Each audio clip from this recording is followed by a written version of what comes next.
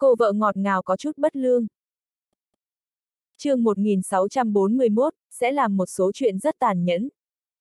Qua nha, bùng nổ bùng nổ, lại có thể có người dám cùng Lâm Na cướp người nha. Có trò hay để nhìn. Một số thành viên không sợ Minh còn chưa thấy rõ tình huống của Diệp Oản Oản hưng phấn gào lên. Ai, dám cướp nam nhân lão nương coi trọng, không muốn sống nữa sao? Lạc Lâm Na giống giận dùng sức kéo roi một cái. Diệp Oản Oản nghe vậy, lúc này mới từ trên người Tu La chủ thu hồi lại ánh mắt, đầu tiên đem roi buông ra, ngay sau đó, xoay người, vừa ôm cánh tay của Tu La chủ, vừa nhìn về phía mỹ nữ đường chủ trước mặt, thờ ơ chúm chím khóe môi, nói một chữ ta. Trong nháy mắt khi Diệp Oản Oản xoay người lại, sắc mặt Lạc Lâm Na trắng bệch, sợ đến mức roi trong tay, kẹt, một cái rơi xuống đất, thiếu chút nữa trực tiếp quỳ xuống, Minh. Minh chủ. Miệng nó, làm, làm sao lại là Minh chủ? Lạc Lâm Na làm sao cũng không nghĩ tới, người tới sẽ là lão đại nhà mình, ngu người đứng lặng ở chỗ đó. Xa xa, bắt đầu nhìn thấy biểu cảm của Lạc Lâm Na, trong lòng âm thầm ói hỏng bét. Ha ha, cái này nào chỉ là chấn kinh, nếu như cô biết người cô trêu ghẹo là ai, còn không phải là bị hù chết sao? Minh, Minh chủ tha tội, tôi, tôi không biết là ngài. Lạc Lâm Na sợ đến vội vàng cúi gập người cầu xin tha thứ, vừa nơm nớp lo sợ nói xin lỗi, vừa cẩn thận hướng về người đàn ông bên cạnh Diệp Oản Oản nhìn kỹ. Không biết có phải là do ánh đèn mờ khiến nàng nhìn lầm hay không, con người mới vừa rồi hờ hững như không để vật gì trong mắt, sau khi bị Minh chủ khoác lấy cánh tay, lại giống như hỏa diễm hừng hực cháy. Diệp Oản Oản thấy Lạc Lâm Na đang trộm ngắm nam nhân bên cạnh mình, trên mặt mỉm cười đầy ôn nhu, nhưng lại lạnh nhạt mở miệng nói, Lâm Na, ngươi nếu như lại nhìn anh ta thêm một cái, minh chủ của nhà ngươi có thể sẽ làm một số chuyện rất tàn nhẫn đó nha. Tôi tôi tôi, tôi sai rồi, Lâm Na không phải cố ý. Minh chủ thứ tội, Lâm Na sợ đến vội vàng cúi đầu, cũng không dám tiếp tục nhìn nhiều. Audio điện tử võ tấn bền. Hoa hoa hoa, hù chết nàng rồi. Ánh mắt nam nhân liếc qua nhìn gương mặt nhỏ tràn ngập uy hiếp kia của cô gái, con người trong trẻo lạnh lùng, dường như mềm đi mấy phần. Ngoan ngoan tương đương tương đương, Diệp Oản Oản cười một tiếng, sau đó, trực tiếp đem chàng trai đi vào bên trong. Nhận ra được nam nhân tựa hồ muốn rút cánh tay về, Diệp Oản Oản mở miệng nói, "Tu La chủ đại nhân, làm phiền anh tự kiểm điểm lại việc chính mình đi gây phiền toái, để yên tay ở đó. Tôi cũng nào có muốn chiếm tiện nghi của anh, chẳng qua là, nếu tôi không làm như vậy, chỉ sợ đoạn đường đi chỉ mấy bước chân này, anh đi cả đêm cũng không tới được." Tu La chủ. Sau lưng, Khương Viêm, yêu nữ. Rõ ràng chính là chiếm tiện nghi còn mượn cớ. Quả nhiên toàn bộ không sợ minh đều là cá mè một lứa. Tia sáng tối tăm, một bên mấy gã khách nhân xem náo nhiệt, chỉ thấy một nữ nhân đột nhiên xuất hiện, trực tiếp ở ngay trước mặt bá vương hoa lạc lâm na đem nam nhân mang đi. Mà phần lớn khách nhân khác cũng không nhận biết Diệp Oản Oản. Cô nàng lạc lâm na tính tình nóng nảy kia, trơ mắt nhìn nam nhân mình coi trọng bị cướp đi, lại chỉ có thể nơm nớp lo sợ đứng ở nơi đó, ngay cả một cái dám cũng không dám thả. Mẹ nó, đây là cái tình huống gì? Mới vừa rồi, nữ nhân kia là ai vậy? Không biết nữa. Những khách nhân khác không biết được tình huống, nhưng đám người không sợ Minh kia không có khả năng không nhận biết được Minh chủ nhà mình nha. Sau khi thấy rõ nữ nhân kia là ai, địa phương mới vừa rồi còn gào thét cổ vũ như quỷ khóc sói chu đột nhiên trở nên yên lặng như tờ, không hề có một chút âm thanh nào. Bọn họ mới vừa rồi, thấy được cái gì? Mới vừa rồi Diệp Oản Oản một lòng chờ Tu La chủ, cộng thêm thành viên không sợ Minh rất đông, rất nhiều người nàng cũng không nhận biết được, nên cũng không hề chú ý là người nhà mình đang ở chỗ này. Lúc này thấy được bác Đấu và Thất Tinh, mới biết những người đang ngồi cổ vũ nhiệt tình nhất kia là người của không sợ Minh mình. Vì vậy, dĩ nhiên là muốn đi qua bắt chuyện một phen. Diệp Oản Oản mới vừa đi tới, một đám người mới vừa rồi còn đang hưng phấn như rồng như hổ, bỗng nhiên co vòi, y như một đám học sinh tiểu học thấy giáo viên chủ nhiệm, cả đám ngồi nghiêm chỉnh thẳng đứng sống lưng. Minh, Minh chủ, Minh chủ, mời ngài ngồi. Diệp Oản Oản hơi cúi xuống, ngay sau đó cười xua xua tay, không cần đâu, Minh chủ nhà các ngươi tối nay bể bộn nhiều việc, các ngươi cứ tự nhiên. Chương 1642, mới vừa rồi trêu ghẹo ai? A, à, tối nay bể bộn nhiều việc. Lời này nghe, làm sao lại có chỗ nào đó sai sai. Nói xong, Diệp Oản Oản trước ánh mắt nhìn của một đám thành viên không sợ Minh, kéo người đi tới một góc quầy rượu ngồi xuống. Khương Viêm một tấc cũng không rời, giống như một vị thần giữ cửa, đứng ở sau lưng hai người, bên cạnh chiếc bàn. Bị thần giữ cửa, nhìn chằm chằm, Diệp Oản Oản ngược lại cũng không thèm để ý, nên làm gì cứ làm cái đó. Cách đó không xa, một đám người của không sợ minh trong lòng vẫn còn sợ hãi, thở phào nhẹ nhõm. Làm tôi sợ muốn chết. Còn không phải sao, không nghĩ tới lại sẽ gặp phải minh chủ cũng tới bên này. Lạc Lâm Na cũng sắp khóc, vội vàng bưng một ly rượu lên uống vào, tự an ủi, người sắp bị hù chết chính là tôi, có được không? Lão nương có thể trở lại, quả thật là kỳ tích. Dù sao mới vừa rồi cũng coi như là đoạt thức ăn trước miệng cọp đấy. Bắt đầu cười ha hả ném hạt dưa vào trong miệng, đây mà chỉ là hù chết. Vậy nếu như cô biết người cô mới vừa trêu ghẹo là ai, hẳn không phải là hồn phi phách tán sao? Ặc, à, người đàn ông tôi mới vừa trêu ghẹo, là ai? Lạc Lâm Na không hiểu. Bắt đầu nháy mắt một cái, cô đoán xem. Lạc Lâm Na không lời nói, tôi nói này bác ca, loại thời điểm này cậu cũng đừng thừa nước đục thả câu. Bắt đầu cười nói, thôi, thà rằng cô đừng nên biết, nếu biết được e là sẽ bị hù đau tim mất. Lạc Lâm Na uống một hớp whisky, đỉnh lông mày khẽ nhếch lên, rốt cuộc là ai vậy? Nếu không phải bởi vì nam nhân kia được minh chủ coi trọng, toàn bộ độc lập châu, còn không có mấy người nam nhân mà tôi không dám trêu ghẹo, có được không? Trừ phi hắn ta là tu la chủ. Lạc lâm na thuận miệng tăng thêm câu cuối cùng kia.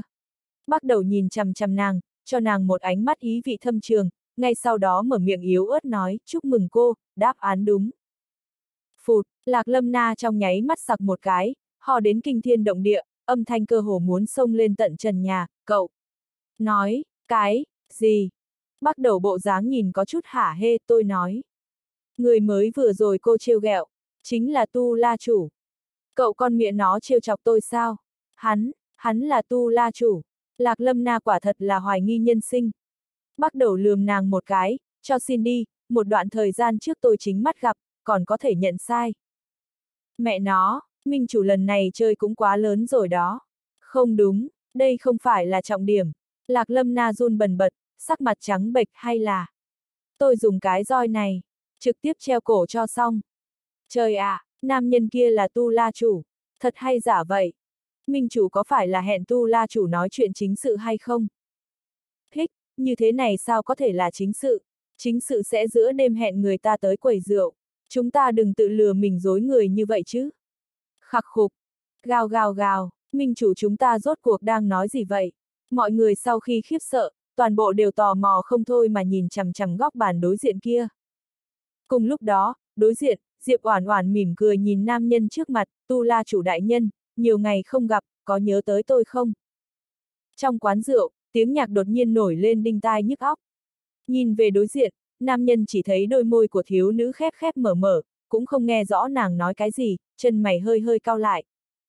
Diệp Oản Oản thấy vậy, tựa hồ là đã sớm nghĩ tới, bỗng nhiên xít lại gần đến bên tai nam nhân, lặp lại một lần, nhiều ngày không gặp, Tu La chủ đại nhân có nhớ tôi không? Cô gái đột nhiên đến gần, khí tức ấm áp nhẹ nhàng phả vào tai anh, âm thanh vừa mềm lại vừa ngọt. Nam nhân chỉ cảm thấy như có một dòng điện theo đầu dây thần kinh nhảy lên, sống lưng nhất thời cứng đờ, theo bản năng mà lui về phía sau. chương 1643, theo đuổi chưa đủ rõ ràng.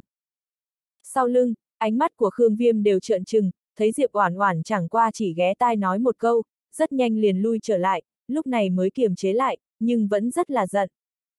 Sau khi tiếng nhạc hơi lắng lại một chút, nam nhân lẳng lặng nhìn cô gái đối diện, đáy mắt giống như có cả núi băng và núi lửa đang dung hòa vào nhau, mở miệng nói, Bạch Minh chủ đối với mỗi người đàn ông đều là như thế sao?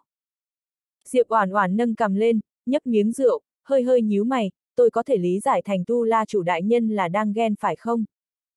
Nam nhân hơi trầm mặt đi, trực tiếp né tránh câu hỏi này, Bạch Minh chủ hẹn tôi có chuyện gì?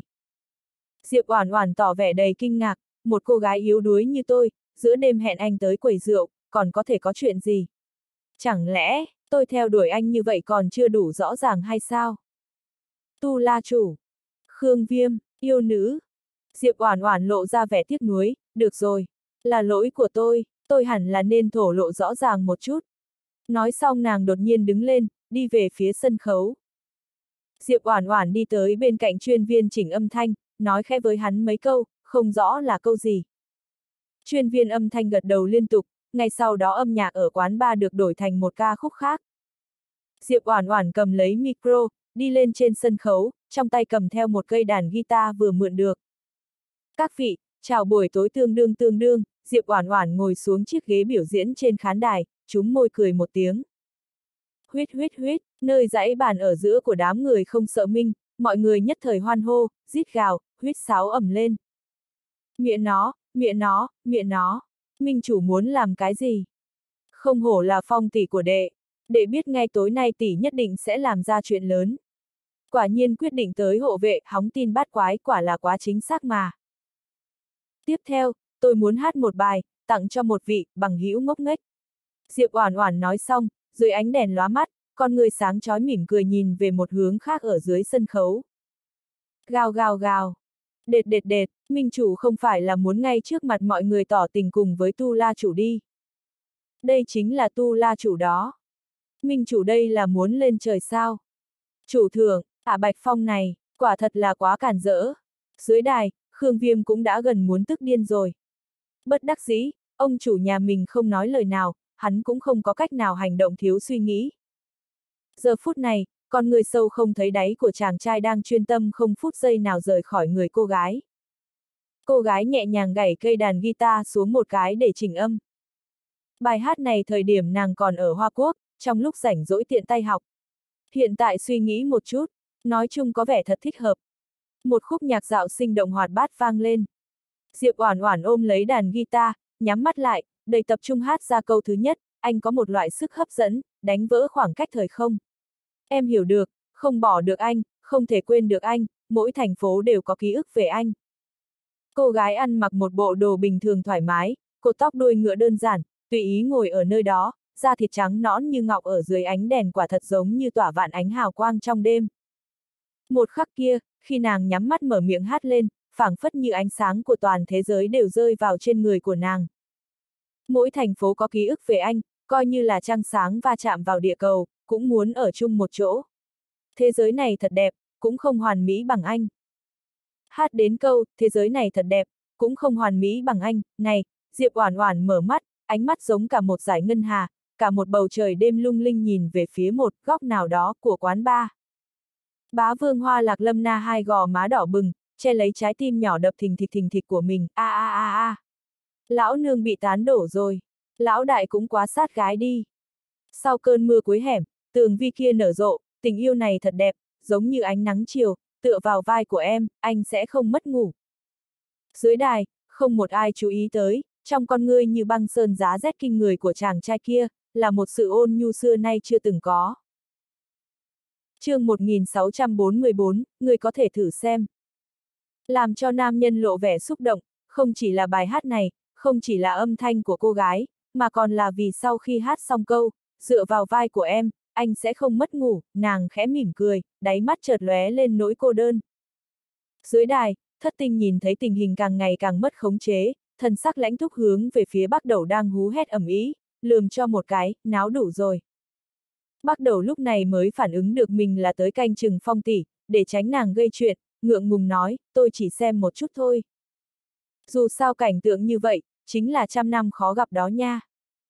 Thất tinh nghe vậy, không nói hai lời, trực tiếp sách cổ áo bắt đầu, đuổi theo hướng của Diệp Oản Oản. Ngoài cửa quầy rượu, ngăn cách với ánh đèn lóa mắt và thanh âm huyên náo, thế giới khôi phục lại sự yên bình. Giờ phút này, đầu óc của Diệp Oản Oản có chút choáng váng. Không thể nào, mình chẳng qua chỉ uống vài ngụm mà thôi, làm sao lại say rồi? Chẳng lẽ là rượu không say, người tự say, bị Mỹ sắc làm cho say rồi? Diệp Oản Oản mơ mơ màng màng lẩm bẩm. Khương Viêm, nữ nhân này, có thể có một câu nói không chiếm tiện nghi của ông chủ sao? Vì hắn, ông chủ quả thật là đã hy sinh quá lớn. Dưới ánh trăng, Diệp Oản Oản đứng ở dưới mái hiên, nhìn nam nhân trước mắt, cánh tay khoác lên bả vai của nam nhân, tu la chủ đại nhân, còn cần tôi thổ lộ rõ ràng hơn một chút sao? Không hiểu ý tứ của Bạch Minh Chủ, nam nhân mặt không đổi sắc mở miệng. Diệp Oản Oản cười một tiếng, vòng vo lâu như vậy rồi, anh và tôi trong lòng đều biết rõ, không cần phải lại tiếp tục diễn như vậy chứ. Nam nhân nhìn chằm chằm nụ cười của cô gái, trong đầu vẫn là tiếng hát mới vừa rồi của cô, thần sắc khẽ run lên, tựa hồ có chút thất thần. Diệp Oản Oản thấy vậy, vừa nói, cánh tay đang khoác bả vai chàng trai bỗng ung dung thản nhiên, lặng lẽ vuốt mái tóc của anh. Không sai, đây mới là một trong những mục đích lớn nhất lần này của nàng. Thời điểm mới vừa biết thân phận thật của mình, thứ nàng muốn biết đến nhất, chính là cha đẻ của đường đường là ai. Một chút, chỉ thiếu chút xíu nữa thôi. Đệt, mái tóc của người này làm sao lại tốt như vậy, một cọng tóc rối cũng không có. Mới vừa rồi nàng vẫn luôn không tìm được cơ hội, chỉ có thể nhân dịp lúc này anh ta đang thất thần thử vận khí một chút. Diệp Oản Oản không dám cứng rắn bước ra, nhất định sẽ bị phát hiện, vì vậy lặng lẽ sờ sờ soạng soạng một hồi. Kết quả, một cọng tóc cũng không lấy được. Không chỉ như thế, chàng trai tựa hồ đã phát giác ra động tác nhỏ của nàng. Thời điểm nàng lần thứ hai chuẩn bị động thủ, kịch một cái giữ lại cổ tay của nàng, nhìn chằm chằm nàng, tựa hồ là đang phán đoán thử ý đồ của nàng là gì. Khục khục, ha ha, tóc của tu la chủ ngài thật tốt, tôi chỉ là muốn vuốt một chút mà thôi. Quả nhiên rất mềm mại nha a. Diệp Oản Oản mặt không đỏ, tim không đập nói bừa. Khương Viêm rốt cuộc không thể nhịn được nữa, yêu nữ. Ngươi đã đủ chưa, ngươi muốn hẹn với chủ thượng, chủ thượng đã làm được rồi. Nếu ngươi lại cản rỡ đối với chủ thượng, đừng trách ta không khách khí. Diệp Oản Oản nghe vậy, đáy mắt xẹt qua một vệt ánh sáng lạnh lẽo khác hẳn với bình thường, a, à, không khách khí. Được nha, ngươi có thể thử xem. Vừa dứt lời, sau lưng truyền tới một tiếng cười hô hô, hô hô hô, không khách khí đối với ai vậy. Dám đụng đến một cọng tóc gáy của phong tỷ, không sợ minh chúng ta liền bẻ gãy xương cốt của ngươi. Bắt đầu mới vừa nói xong, liền bị thất tinh chừng mắt một cái. Bắt đầu lúc này mới phát hiện có gì đó không đúng. Đúng vậy, hắn rõ ràng là tới khuyên phong tỷ, làm sao lại biến thành cảnh, tiếp tay cho kẻ ác, cưỡng đoạt nam nhân lương thiện trói về, rồi vậy hả? Ặc, à, không đúng, đối phương nào phải là nam nhân lương thiện, đây chính là đại ma đầu đấy. Làm bậy rồi, phong tỷ à, chuyện này càng ngày càng lố rồi. Nếu không phải là tu la chủ chúng tình cổ, không thể giết phong tỷ, nói không chừng hiện tại không sợ Minh đã sớm gặp nạn rồi. chương 1645, còn cần ngươi nhắc nhở. Khương Viêm chân chối nhìn chòng chọc bác đấu và thất tinh cách đó không xa, chân mày nhíu chặt lại. Yêu nữ này, lại có thể mai phục người, muốn cưỡng bức ông chủ nhà bọn họ. Ông chủ nhà hắn, hy sinh vì hắn, thực sự là... Trong lòng Khương Viêm tràn đầy cảm động. Tìm chết. Bỗng nhiên, hàn quang trong mắt Khương Viêm chợt lóe lên, chỉ vào bắt đầu lạnh giọng quát lên. Hiểu lầm, đều là hiểu lầm. Chờ chút, người con miệng nó nói ai tìm chết đấy. Một tên môn thần, một con chó giữ cửa như ngươi, ta nhổ vào. Bắt đầu mặt đầy vẻ không phục nhìn về phía Khương Viêm, luôn miệng mắng to. Lúc này, thất tinh liếc nhìn bắt đầu một cái, cậu còn biết mục đích của mình tới để làm gì không vậy? Nghe thất tinh nhắc nhở, bắt đầu hơi sững sờ, thật giống như có chút lạc đề rồi. A ha ha, dù cho ngươi có là chó giữ cửa, cũng là một con chó ngoan. Hiểu lầm, đều là hiểu lầm. Bắt đầu nói xong, lập tức đi tới bên cạnh Diệp Oản Oản, ý cười đầy mặt, "Phong tỷ, tỷ uống nhiều rồi, chúng ta mau trở về đi thôi." Trong liên minh còn có rất nhiều chuyện chờ Phong tỷ xử lý đấy. Bắt đầu dứt lời, liền khoác lấy cánh tay của Diệp Oản Oản, dường như muốn lập tức rời khỏi nơi này. Nhưng mà, trong phút chốc khi bắt đầu khoác lấy cánh tay Diệp Oản Oản, lại cảm giác cả người mình bị hàn băng bao phủ, không tự chủ được dùng mình một cái. Ai, có sát khí, ai đánh lén ta? Bắt đầu thận trọng hướng về bốn phía quan sát, nhưng mà trừ tu la chủ mặt không cảm xúc theo dõi hắn ra, lại không thấy bất kỳ thứ gì khác. Diệp Oản Oản có chút bất đắc dĩ, cái gã đần độn này rốt cuộc làm sao lăn lộn được tới giờ vậy. Nhãn lực thật là quá kém đi mà, không thấy chuyện giữa nàng và tu la chủ vẫn còn chưa được xử lý xong hay sao? Tóc của tu la chủ còn chưa lấy được tới tay đây này. Lại nói, sợi tóc này ở tại học viện xích diễm, dù gì cũng là một nhiệm vụ cấp S đấy. Một bên, thất tinh thở dài, chậm rãi tiến lên, túm lấy cổ áo của bắt đầu, đi nhanh về phía xe. Ông chủ, chúng ta đi thôi. Ma nữ này, não có vấn đề, một lát nữa không biết chừng còn có thể làm ra chuyện gì đó. Khương Viêm nhìn về phía Tu La Chủ, thận trọng mở miệng nói. Tu La Chủ mặt không cảm xúc, xoay người rời đi. Sau khi lên xe, chân mày tư dạ hàn nhíu lại. Tình huống bây giờ, đã hoàn toàn ngược lại với hy vọng của anh. Cứ tiếp tục như vậy, muốn để cho Diệp Oản Oản rời khỏi độc lập châu, trở lại Hoa Quốc, dường như cũng không thể nào. Biện pháp muốn Diệp Oản Oản trở lại Hoa Quốc, không phải là không có. Trừ phi, anh khôi phục lại thân phận tư dạ hàn. Lúc này, thất tinh đã lái xe đi tới dưới tòa cao ốc không sợ minh. Sau khi Diệp Oản Oản xuống xe, chạy thẳng vào trụ sở chính. Kính chào Minh Chủ. Một vài thành viên không sợ Minh gác đêm, sau khi nhìn thấy Diệp Oản Oản, lập tức bật người dậy, trong nháy mắt lên tinh thần 100%, hướng về Diệp Oản Oản hành lễ. Diệp Oản Oản chào hỏi cùng với mấy người gác đêm một tiếng xong, liền quay trở về phòng làm việc. Chỉ chốc lát sau, Bắc Đấu và Thất Tinh cũng đi vào. Phong tỷ, gần đây Độc Lập Châu cũng không yên ổn. Chúng ta vẫn là nên bớt trêu chọc mấy người của tội vực đi. Bắc Đầu mới vừa vào phòng làm việc, liền vội vàng nói với Diệp Oản Oản. Tội vực. Nghe tiếng, Diệp Oản Oản hơi sững sờ, ai là người của tội vực? Tu La chủ đấy, một trong tam đại thế lực hạch tâm của tội vực. Bác đầu mở miệng nói. Diệp Oản Oản, còn cần ngươi nhắc nhở, ta không biết sao. Phong tỷ, chừng nào thì tỷ quay trở về học viện xích diễm. Một bên, thất tinh hướng về Diệp Oản Oản mở miệng hỏi. Bây giờ, nhiệm vụ đều đã hoàn thành, không sai biệt lắm cũng là thời điểm trở lại học viện xích diễm rồi. Vậy hai ngày nữa đi, Diệp Oản Oản mở miệng nói. Trước khi trở lại học viện xích diễm, nàng còn có một số chuyện cần phải đi xử lý, nhiều nhất cũng chỉ cần hai ngày chương 1646, tập trung tinh anh đi Hoa Quốc.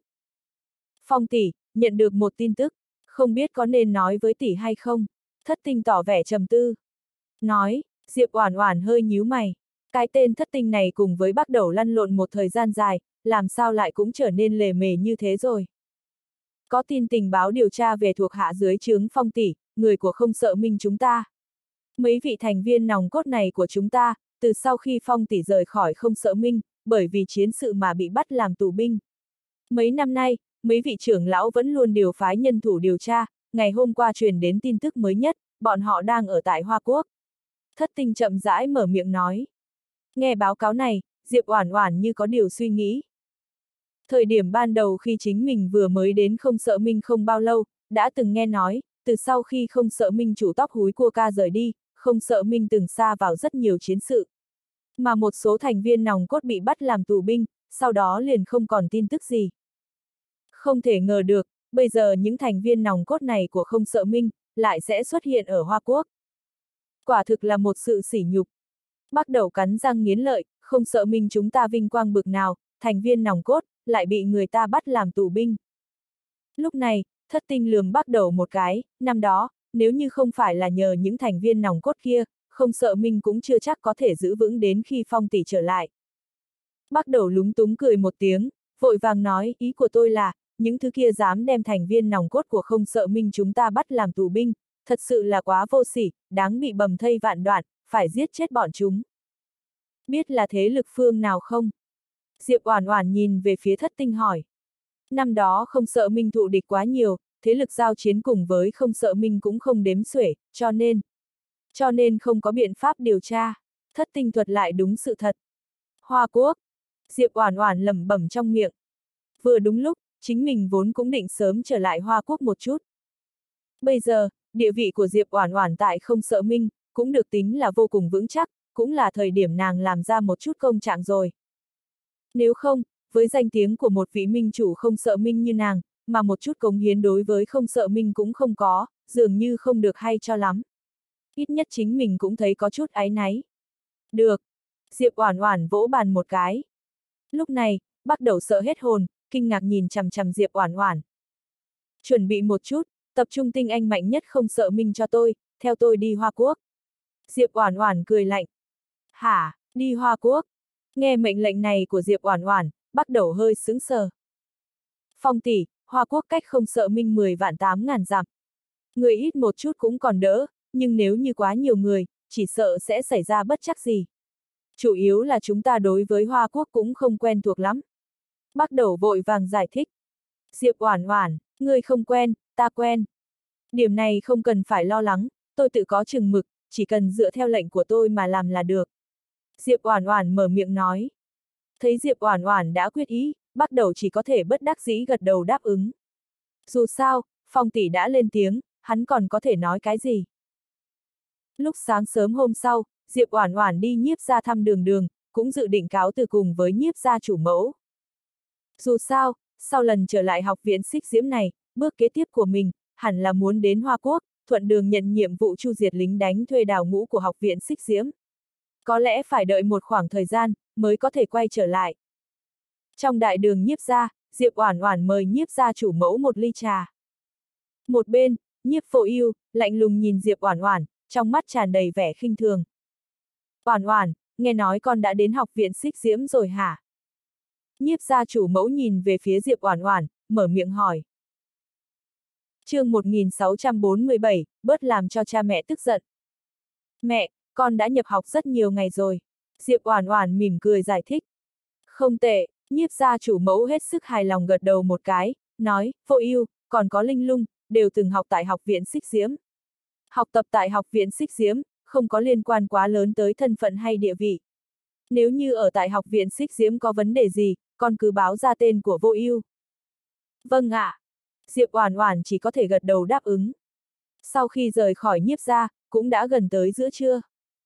Diệp Oản Oản cũng không dừng lại, dự định trước tiên đi xem một chút, việc xây dựng thế lực tử vong hoa hồng của mình tiến triển đến đâu rồi. Tử vong hoa hồng thành lập cũng đã được một thời gian, đều vẫn luôn giao cho tiểu loli và lưu ảnh bọn họ xử lý, chính mình lại không hề hỏi tới lấy một lần. Diệp Oản Oản vừa mới bước ra khỏi cửa chính của nhiếp gia, nhiếp vô danh không biết từ chỗ nào nhảy ra. Muội muội. Nhiếp vô danh nhìn về phía Diệp Oản Oản, mở miệng gọi. Nghe tiếng, Diệp Oản Oản dừng bước, xoay người lại. Nhiếp vô danh tựa hồ có chút chật vật, trạng thái tinh thần cũng không được khá lắm. Anh làm sao vậy? Diệp Oản Oản hơi nhíu mày. Trước đó có nghe nói nhiếp vô danh và người trong nhà xảy ra một chút tranh chấp. Không có gì, chỉ là cùng cha mẹ làm ẩm ý một trận. Nhiếp vô danh thở dài một tiếng, nói. Nguyên nhân gì? Diệp Oản Oản hỏi. Không có nguyên nhân gì, chỉ là một chút chuyện nhỏ nhặt không đáng kể mà thôi. Nhiếp vô danh trả lời. Nghe nhiếp vô danh dường như cũng không quá nguyện ý nói rõ ràng chi tiết, Diệp Oản Oản cũng không có cách nào để tiếp tục gặng hỏi đến cùng. Với tính cách của nhiếp vô danh mà nói, đích xác là như thế. Trừ phi hắn muốn nói, nếu không rất khó để cho hắn nhả ra. Anh nói xem, chờ sau khi cha mẹ trăm tuổi, nhiếp ra chúng ta này, ai sẽ kế thừa?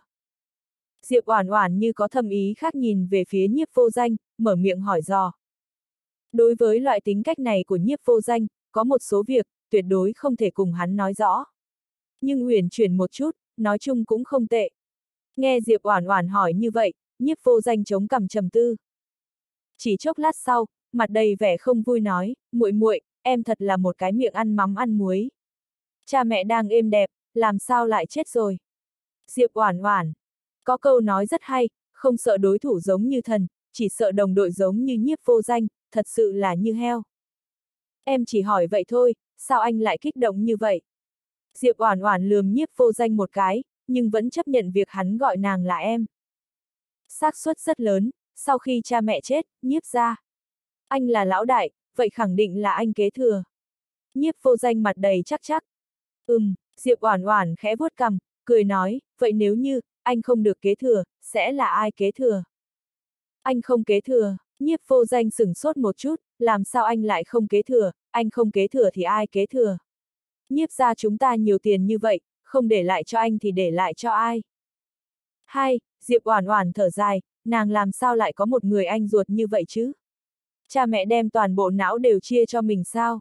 Dù gì cũng nên chừa lại cho ca ca một chút. Anh đừng nói nhảm nữa, nếu như anh không kế thừa, thì ai kế thừa? Diệp Oản Oản nhíu chặt lông mày. Anh không kế thừa, vậy khẳng định là nhị muội sẽ kế thừa. Nhị muội không kế thừa, vậy sẽ là Nhiếp Linh Lung. Không đúng, Nhiếp Linh Lung và Nhiếp gia không có liên hệ máu mủ, cô ta không kế thừa được, vậy sẽ là Đường Đường kế thừa. Cũng không đúng, Đường Đường còn nhỏ, không cách nào kế thừa. Nói chung không phải là anh thì chính là nhị muội. Nhiếp vô danh phân tích. Phân tích không tệ, nhưng nếu như ca ca làm cho cha mẹ tức giận, một ngày nào đó cha mẹ tức quá, đã anh ra khỏi nhiếp gia, anh có thể sẽ bị thua lỗ lớn. Quyền thừa kế sẽ rơi vào ở trong tay người khác. Anh suy nghĩ một chút, nhiếp ra nhiều tiền như vậy. Chính là từng thỏi, từng thỏi vàng.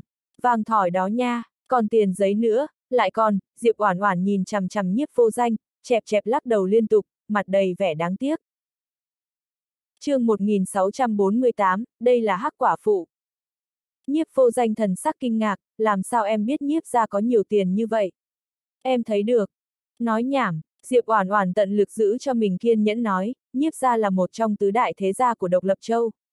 Mặc dù không bằng thẩm gia, nhưng những thứ như tiền bạc, chẳng lẽ sẽ thiếu sao? Sản nghiệp cái gì, đều là thứ yếu, chủ yếu là tiền, có đúng không? Vậy khẳng định là đúng, tiền là quan trọng nhất, nhiếp vô danh gật đầu liên tục. Cho nên nói, anh phải nhớ kỹ, bất kể như thế nào, vô luận xảy ra chuyện gì, anh đều không thể trở mặt cãi nhau cùng với cha mẹ. Diệp Oản Oản nhìn chằm chằm nhiếp vô danh, chân thành dặn dò. Ừ, muội muội nói rất có lý, anh không thể gây khó dễ cho tiền của mình. À nhầm, anh phải hiếu thuận với cha mẹ. Nhiếp vô danh tỏ vẻ trầm tư. Đối với nhiếp vô danh, Diệp Oản Oản thật là lo âu từ tận đáy lòng. Với tính cách của nhiếp vô danh mà nói, quá dễ dàng bị người khác nhầm vào. Đặc biệt là vì anh ta không có tâm cơ, nhiếp vô danh căn bản khó lòng phòng bị. Chỉ sợ là bị người khác bán đứng, mà vẫn chỉ có thể giúp người khác đếm tiền.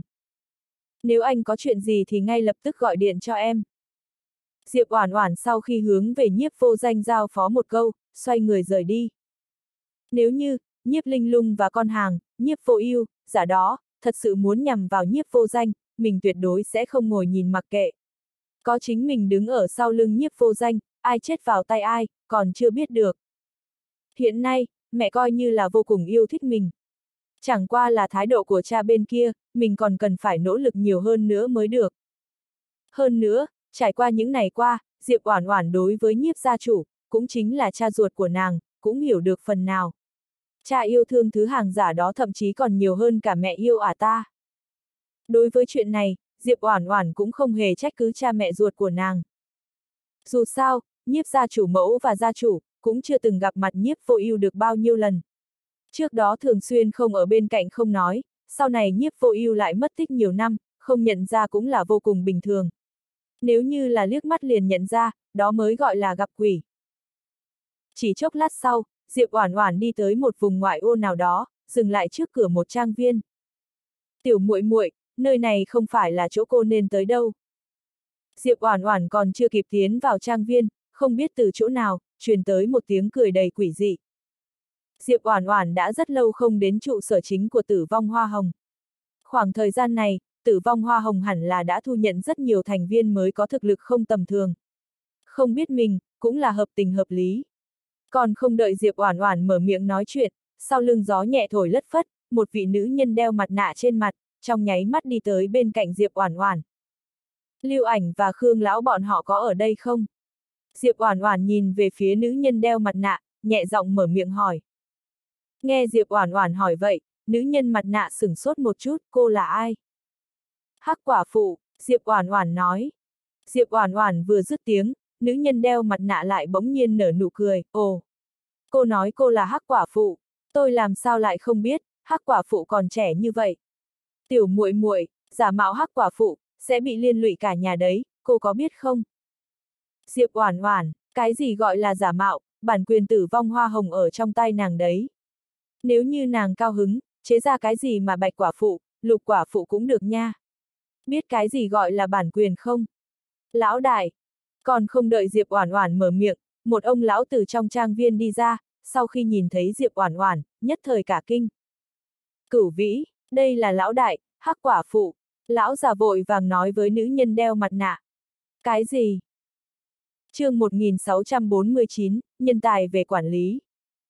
Nghe tiếng, nữ mặt nạ vội vàng tháo mặt nạ xuống, lộ ra một khuôn mặt khá được, trong mắt hiện ra vẻ chấn động sâu đậm. Cô gái trẻ tuổi trước mặt này, lại chính là thủ lĩnh của tử vong hoa hồng. Hắc quả phụ trong truyền thuyết. Mới vừa rồi, cô gái trẻ tuổi này nói mình là hắc quả phụ, nàng làm sao có thể tin tưởng. Thuộc hạ đáng chết. Cơ hồ chỉ trong chốc lát, nữ mặt nạ lập tức quỳ một chân bên người Diệp Oản Oản, mặt đầy vẻ sợ hãi. Đùa gì thế, nàng mới vừa rồi lại có thể nói chuyện như vậy đối với hắc quả phụ. Người không biết không có tội. Diệp Oản Oản khẽ mỉm cười, đỡ lấy cánh tay của nữ mặt nạ, nhẹ nhàng đỡ nàng lên. Nữ mặt nạ một bộ dáng thụ sủng nhược kinh, đứng ở một bên, chăm chú nhìn Diệp Oản Oản. Lão đại, vị này là cửu vĩ, mới vừa gia nhập tử vong hoa hồng không bao lâu. Đã từng là học viên của học viện lính đánh thuê tinh dương, sát thủ cấp S cộng. Lão già hướng về Diệp Oản Oản giới thiệu. Cửu vĩ. Diệp Oản Oản như có điều gì đó suy nghĩ. Cái danh hiệu này, nàng đích xác là đã từng nghe nói qua. Ngươi chính là cái người đó, sau khi giết mấy vị học viên cấp S cộng của học viện lính đánh thuê tinh dương, liền đào ngũ. Diệp Oản Oản nhìn về phía nữ nhân, mở miệng hỏi. Không sai, nữ nhân gật đầu thừa nhận, nàng đích xác là lính đánh thuê đào ngũ. Khó trách. Diệp Oản Oản chợt nhớ tới, thời điểm trước đó khi mình ở khu phân phối nhiệm vụ của học viện Xích Diễm, đã từng nhìn thấy qua nhiệm vụ có liên quan đến cửu vĩ. Đánh chết hoặc là bắt sống cửu vĩ, là mục tiêu tiếp cận với cấp S. Không nghĩ tới, vị lính đánh thuê đào ngũ của học viện Tinh Dương, lại gia nhập tử vong hoa hồng của chính mình. Lão đại, ngài, có để ý việc tôi là một lính đánh thuê đào ngũ hay không? Đến lúc đó sợ bị học viện Tinh Dương trả thù. Cửu vĩ nhíu chặt chân mày, có chút khẩn trương nhìn chằm chằm Diệp Oản Oản. Chính bản thân cửu vĩ cũng chưa từng nghĩ tới, sau khi mình trở thành lính đánh thuê đào ngũ, sẽ còn có thế lực cường đại dám tiếp nhận mình.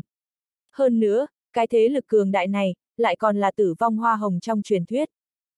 Lúc này, Diệp Oản Oản lâm vào yên lặng. Mà Diệp Oản Oản càng yên lặng, Cửu Vĩ lại càng khẩn trương hơn, mặt như đưa đám. Chỉ chốc lát sau, Diệp Oản Oản ngẩng đầu lên, nhìn về phía Cửu Vĩ, lạnh nhạt nói, làm sao, ngươi cho là tử vong hoa hồng của ta, lại còn sợ chỉ một cái học viện tinh dương. Nghe Diệp Oản Oản nói vậy, vẻ đưa đám và khẩn trương trên mặt Cửu Vĩ trong nháy mắt liền biến mất không thấy gì nữa, hướng về phía Diệp Oản Oản lắc đầu liên tục, dĩ nhiên là không có khả năng. Học viện Tinh Dương, trong mắt ta, không đáng nhắc tới. Diệp Oản Oản lạnh lùng nói. Chỉ bất quá, trên miệng nói như vậy, trong lòng lại run lẩy bẩy. Chém gió như vậy, có phải có chút hơi lớn rồi không? Dù sao cũng là một trong tam đại học viện lính đánh thuê đấy, không phải chuyện đùa đâu. Ha ha, cửu vĩ, cô lo lắng cái gì? Tử vong hoa hồng, còn sợ học viện tinh dương hay sao? Biểu hiện tốt một chút, chờ ngày nào đó lão đại tâm tình tốt, giúp cô đem học viện lính đánh thuê tinh dương tiêu diệt cũng đều được. Lão già liền vội vàng lên tiếng nói. Vâng, cửu vĩ gật đầu liên tục. Diệp Oản Oản, diệt em gái người chứ diệt. Rất nhanh, Diệp Oản Oản theo lão già và cửu vĩ, đi vào bên trong trang viên. Sau khi biết được Diệp Oản Oản tới chỗ này, đám người lưu ảnh và Khương lão lập tức ra đón. Bọn họ những người này, về thực lực võ thuật, mặc dù không cách nào sánh được cùng với những thành viên của tử vong hoa hồng, nhưng thành lập những quy tắc trật tự lại vô cùng gọn gàng và chặt chẽ, chỉ có thể nói là nhân tài về quản lý. Đối với đám người Khương Lão và Lưu Ảnh, Diệp Oản Oản nói chung cũng biết gốc biết dễ. Để cho bọn họ giữ vị trí quản lý, thứ nhất là thỏa mãn lòng hư vinh và tự ái của bọn họ, về mặt khác, chính Diệp Oản Oản cũng yên tâm. Chương 1650, tôi con miệng nó không có sĩ diện sao? Phong tỷ. Lưu Ảnh nhìn về phía Diệp Oản Oản, khẽ mỉm cười. Đối với Diệp Oản Oản, trong lòng Lưu Ảnh rất là cảm kích. Nếu như không có nàng, hắn há có thể đi tới Độc Lập Châu, trở thành người trên người, thậm chí còn có thể quản lý một tổ chức của những cường giả mạnh hơn mình gấp trăm ngàn lần. Chủ nhân. Rất nhanh, tiểu Loli và đám người bọn hải địch cũng bước nhanh tới. Trong lúc mọi người còn đang chào hỏi, Diệp Oản Oản nhanh chân đi vào bên trong đại sảnh. Lưu ảnh lấy ra một phần tài liệu liên quan với nhân thủ và chi nhánh của tử vong hoa hồng đưa cho Diệp Oản Oản. Cầm văn kiện lên, Diệp Oản Oản quan sát tỉ mỉ. Đoạn thời gian gần nhất, tử vong hoa hồng thu nhận 3 vị lính đánh thuê cấp S, một vị lính đánh thuê cấp S cộng, còn có trên trăm vị cường giả thực lực không tầm thường. Phong tỷ, thành viên thu nhận càng nhiều, chi tiêu của chúng ta lại càng lớn. Một trang cuối cùng là báo cáo tài chính, Lưu ảnh hướng về Diệp Oản Oản cau mày nói. Lúc này, Diệp Oản Oản đem tài liệu lật tới một trang cuối cùng. Không thể không nói, đoạn thời gian gần đây, chi phí tài chính của tử vong hoa hồng, đích thực có chút lớn. Nhưng nếu như một tổ chức không có tiền, làm sao có thể lớn mạnh? Nếu như ngay cả cơm cũng đều không ăn nổi, ai sẽ nguyện ý gia nhập một tổ chức để cho họ đói bụng? Đừng nói thủ lĩnh là tử vong hoa hồng, coi như là thiên hoàng lão tử cũng không được. Trước mắt, tử vong hoa hồng vẫn còn đang trong giai đoạn khởi đầu. Cho nên, muốn thu về lợi nhuận, còn hết sức khó khăn. Khương lão thở dài. Cũng không phải là không có biện pháp, Trừ phi, lưu ảnh nhìn chằm chằm Diệp Oản Oản, muốn nói lại thôi. Nói. Diệp Oản Oản nói. Nói theo không sợ minh, chỉ cần chúng ta nói theo không sợ minh, tài chính vốn căn bản không thành vấn đề, thậm chí có thể kiếm rất nhiều. Lưu ảnh mặt đầy nghiêm túc. Nói theo không sợ minh. Tiểu loli mặt đầy mộng bức, có ý gì, đang êm đang đẹp nói theo không sợ minh làm cái gì. Hải địch cũng gật đầu liên tục, đúng vậy, không sợ minh chẳng lẽ có kỹ thuật kiếm tiền phi phàm. Kỹ thuật gì mà phi phàm? Không sợ minh kiếm tiền nào có kỹ thuật gì, toàn dựa vào ăn cướp. Nam dâu chép chép miệng, không sợ minh chính là tướng cướp hiển hách nổi danh độc lập châu đấy. Không sai, lưu ảnh khẽ vuốt cầm, nhìn Diệp Oản Oản, nói, nếu như tử vong hoa hồng có thể noi theo không sợ minh, thiếu hụt về tài chính sẽ lập tức được bù đắp. Diệp Oản Oản, một tổ chức không biết xấu hổ đã đủ rồi, lại một cái nữa. Tôi còn miệng nó không có sĩ diện sao? Phong tỷ, cô cảm thấy thế nào? Lưu ảnh nhìn về phía Diệp Oản Oản hỏi. Diệp Oản Oản ra vẻ trầm tư, chợt lắc đầu một cái, không cần đâu, thiếu hụt về tài chính, tôi sẽ lấy tài chính của không sợ minh để giải quyết. Tử vong hoa hồng và không sợ minh là tổ chức huynh đệ, có một cái không biết xấu hổ là đủ rồi. Lưu ảnh, Lão Khương, Tiểu Lô Ly, đám người như Lưu ảnh và Tiểu Lô Ly, Khương Lão, đều biết được Diệp Oản Oản trừ tử vong hoa hồng ra, còn là không sợ minh chủ Bạch Phong. Từ trong miệng của không sợ minh chủ, nói ra những lời không sợ minh không biết xấu hổ này. Không biết vì sao, luôn có cảm giác nơi nào đó có chút là lạ. Nhưng tử vong hoa hồng bọn họ, dùng tiền không sợ minh giành được để phát triển xây dựng chính mình, không phải là càng thêm không biết xấu hổ hay sao. Lúc này, Diệp Oản Oản gọi điện thoại cho kế toán không sợ minh, bảo kế toán chuyển một khoản tiền qua. Mặc dù không phải là quá nhiều, nhưng đủ để cho tử vong hoa hồng chống đỡ một tháng ở giai đoạn hiện tại. Còn nữa, thương nghiệp tại Độc Lập Châu mặc dù bị lũng đoạn, nhưng cường giả tử vong hoa hồng cũng không ít, có thể nhận nhiều nhiệm vụ lính đánh thuê một chút. Diệp Oản Oản nhìn về phía mọi người, mở miệng nói. chương 1651, trở lại xích diễm. Nếu như chỉ dựa vào việc lấy tiền của không sợ minh để nuôi sống tử vong hoa hồng, chỉ sợ cũng không phải là kế hoạch lâu dài. Đến lúc đó, không sợ minh bên kia cũng sẽ có ít nhiều oán hận. Vâng, chủ nhân, chúng tôi biết rồi. Gì chứ làm lính đánh thuê, chúng tôi đều biết, nhất định không thành vấn đề. Tiểu Loli liền vội vàng nói. Sau khi giao phó xong một số sự việc vặt vãnh, Diệp Oản Oản lúc này mới đứng dậy rời khỏi trụ sở chính của Tử Vong Hoa Hồng. Tại phụ cận không sợ Minh, bắt đầu đã đứng bên cạnh xe chờ rất lâu. Ngay từ hôm qua, Diệp Oản Oản cũng đã quyết định, để cho bác đầu lái xe chở mình về học viện xích diễm. Phong tỷ, chúng ta khi nào sẽ đi Hoa Quốc? Nửa đường, bác đầu hỏi Diệp Oản Oản. Cậu và thất tinh trước tiên chuẩn bị nhân thủ cho sẵn sàng, cũng chỉ trong vòng mấy ngày sắp tới mà thôi. Diệp Oản Oản nhìn về phía bắt đầu, mở miệng nói. Phong tỷ, trước đó tỷ từng đi Hoa Quốc. Hoa Quốc có gì vui sao? Bắt đầu mặt đầy hiếu kỳ. Những người như bắt đầu hay thất tinh, từ nhỏ đến lớn, rất ít khi rời khỏi độc lập châu. Cho dù có rời khỏi độc lập châu, phần lớn cũng chỉ là đến một số quốc gia nhỏ ở khu vực phụ cận của độc lập châu mà thôi. Có nhiều thứ để chơi lắm, Diệp Oản Oản trả lời. Ha ha, vậy thì tốt, để cho tới bây giờ đều chưa từng đi Hoa Quốc bao giờ. Bắt đầu cười lảnh lót một tiếng, trong thanh âm tràn đầy sự mong đợi. Lúc xế chiều, bắt đầu rốt cuộc đã lái xe tới chân núi học viện xích diễm. Sau khi Diệp Oản Oản xuống xe, để cho bác đầu lái xe trở về lại không sợ Minh, còn chính mình hướng về phía đỉnh núi mà đi. Đứng ở cửa học viện xích diễm, Diệp Oản Oản trước tiên chỉnh lại một chút lớp trang điểm ra mặt, tiếp đó mới đi vào bên trong học viện. Sau khi trở lại, Diệp Oản Oản cũng không cuống cuồng đi đến lớp dành cho lính đánh thuê cấp D, mà trước tiên lại đến khu phân phối nhiệm vụ.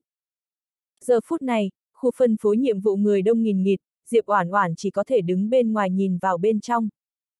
Hồi lâu sau, chân mày Diệp Oản Oản hơi hơi nhíu lại. Hai nhiệm vụ cấp A của mình đã hoàn thành, nhưng mà phải đến nơi nào để trả nhiệm vụ và giám định kết quả. Diệp sư muội. Bỗng nhiên, Lý Tân không biết từ nơi nào chui ra, đứng ở bên cạnh Diệp Oản Oản, mặt đầy vẻ kinh ngạc. Sao vậy? Diệp Oản Oản nhìn chằm chằm Lý Tân, không rõ vì sao. Cái gì mà sao với chăng ở đây? Sư muội, không phải là cô đã đào ngũ sao, tại sao còn trở lại? Lý Tân đảo mắt cảnh giới chung quanh, mặt đầy vẻ khẩn trương. Cái gì? Diệp Oản Oản mặt đầy mộng bức, đào ngũ.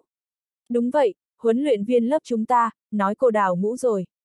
Lý Tân thấp giọng hướng về Diệp Oản Oản giải thích. Nghe câu này, trong mắt Diệp Oản Oản hiện ra hàn quang. Cái tên huấn luyện viên Trương Đạt đó, và Trương Tác Niên lại muốn lấy mạng mình. Chỉ bất quá, có đào ngũ hay không, không phải chỉ cần bọn chúng nói là được. Anh nói một lính đánh thuê cấp D, loại cấp thấp bất nhập lưu như tôi, còn phải đào ngũ sao? Diệp Oản Oản nhìn chằm chằm Lý Tân. Nếu như, lính đánh thuê đạt đến cấp S, mới không cách nào tự tiện thoát ly khỏi học viện. Cho dù là chuyển sang những học viện khác, đều bị coi là đào ngũ. Nhưng còn lính đánh thuê cấp D. Đạo lý đó tôi cũng biết mà. Diệp sư muội, loại lính đánh thuê cấp D giống như chúng ta này, nói là đào ngũ, quả thực là một chuyện thiếu lâm. Chỉ bất quá, huấn luyện viên Trương Đạt kia, nhất định là muốn chơi chết cô, mới cố ý báo lên trên, nói cô đào ngũ. Lý Tân thở dài một cái. Diệp Oản Oản cực kỳ bất đắc dĩ lắc đầu, căn bản không thèm để ý tới đám người Trương Tác Niên. Đúng rồi, sau khi hoàn thành nhiệm vụ, đi nơi nào trả và giám định kết quả. Diệp Oản Oản hướng về Lý Tân hỏi. Lý Tân đi tới học viện Xích Diễm hơi sớm hơn nàng mấy tháng. Đối với học viện Xích Diễm, anh ta có thể sẽ biết được rõ ràng hơn chương 1652, qua bên kia xếp hàng. Sau khi hoàn thành nhiệm vụ, đi đến khu trả nhiệm vụ, bên trong sẽ có cao tầng đích thân xác minh. Lý Tân nói như vậy. Lời nói đến đây, Lý Tân hơi sững sờ, nhìn chằm chằm vào Diệp Oản Oản, Diệp sư muội, trước kia không phải cô cậy mạnh tiếp nhận hai nhiệm vụ cấp A sao? Sau đó lại tiếp nhận nhiệm vụ gì rồi, làm sao tôi lại không biết? Theo Lý Tân, cái mà Diệp Oản Oản gọi là hoàn thành nhiệm vụ, tất nhiên là không có chút quan hệ gì với hai nhiệm vụ cấp A có liên quan tới không sợ minh kia. Đối với chuyện này, Diệp Oản Oản cũng lười đi giải thích. Lý Tân đã không tin, thì làm sao có thể giải thích rõ ràng. Sau khi biết được vị trí của khu trả nhiệm vụ, Diệp Oản Oản liền nhờ Lý Tân dẫn đường, hai người sóng vai đi về khu trả nhiệm vụ. Diệp sư muội, bằng không cô vẫn là nên chạy trốn đi. Cái gã Trương Đạt kia tốt xấu gì cũng là một huấn luyện viên cấp thấp. Chúng ta trêu chọc không nổi đâu. Hơn nữa, hắn đã báo lên rằng cô là lính đánh thuê phản bội đào ngũ. Bây giờ cô đến khu trả nhiệm vụ, không phải là muốn chết sao? Lý Tân tận tình khuyên nhủ Diệp Oản Oản. Nhưng mà, Diệp Oản Oản lại không hề có bất kỳ xúc động nào.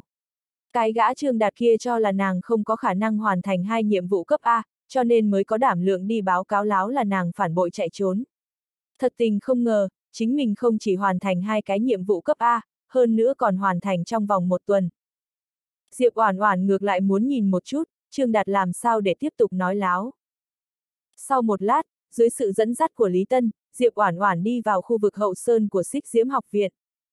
Khu trả nhiệm vụ của học viện, được xây dựng tại hậu sơn. Giờ phút này, khu trả nhiệm vụ, kín người hết chỗ. Trong đó, không ít lính đánh thuê cấp A mặc trang phục màu đen, thậm chí ngay cả lính đánh thuê cấp S mặc trang phục màu hoàng kim vàng óng đi qua qua lại lại. Nói chung, đi vào khu trả nhiệm vụ, đều là lính đánh thuê đã hoàn thành xong nhiệm vụ của mình, đến đây thẩm tra. Ở địa phương này, có thể thấy được những học viên có đẳng cấp cao nhất của học viện Xích Diễm, thậm chí là một số ít nhân vật đứng hàng đầu thuộc cấp bậc trưởng lão. Diệp Oản Oản chứng kiến, phía trước là một đám lính đánh thuê cấp A trang phục màu đen, đang xếp hàng điền vào mẫu bảng kê khai của khu trả nhiệm vụ. Diệp Oản Oản bảo Lý Tân ở bên ngoài chờ đợi, còn mình thì đi xếp hàng. Vị sư muội này, có phải là cô đi lộn chỗ rồi hay không? Không bao lâu, một vị lính đánh thuê cấp A trang phục đen, có chút lãnh đạm nhìn Diệp Oản Oản. Không có, tôi cũng đến để xác minh nhiệm vụ. Diệp Oản Oản suy nghĩ một chút, nói đúng sự thật. Nghe vậy, vị lính đánh thuê cấp A này lắc đầu, cũng không nói thêm gì cả. Một cô nàng lính đánh thuê cấp D, lại chạy đến khu vực trả nhiệm vụ cấp A. Loại lính đánh thuê cấp thấp nhất, lại nhận nhiệm vụ cấp A, hơn nữa còn hoàn thành. Nói đùa sao?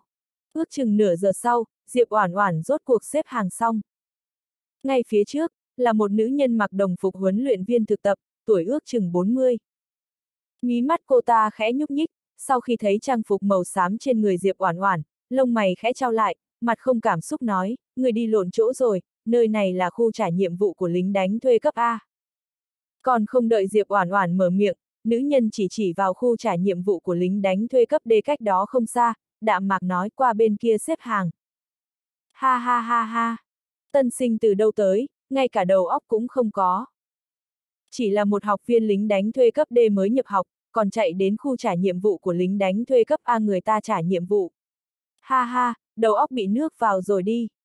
Đừng nói như vậy, người ta là tân sinh, không hiểu quy tắc cũng là bình thường. Một số học viên lính đánh thuê cấp D mặc đồng phục màu xám đứng hóng hớt, phình bụng cười to. Tại học viện xích viêm, lính đánh thuê cấp D ước chừng có vài chục lớp.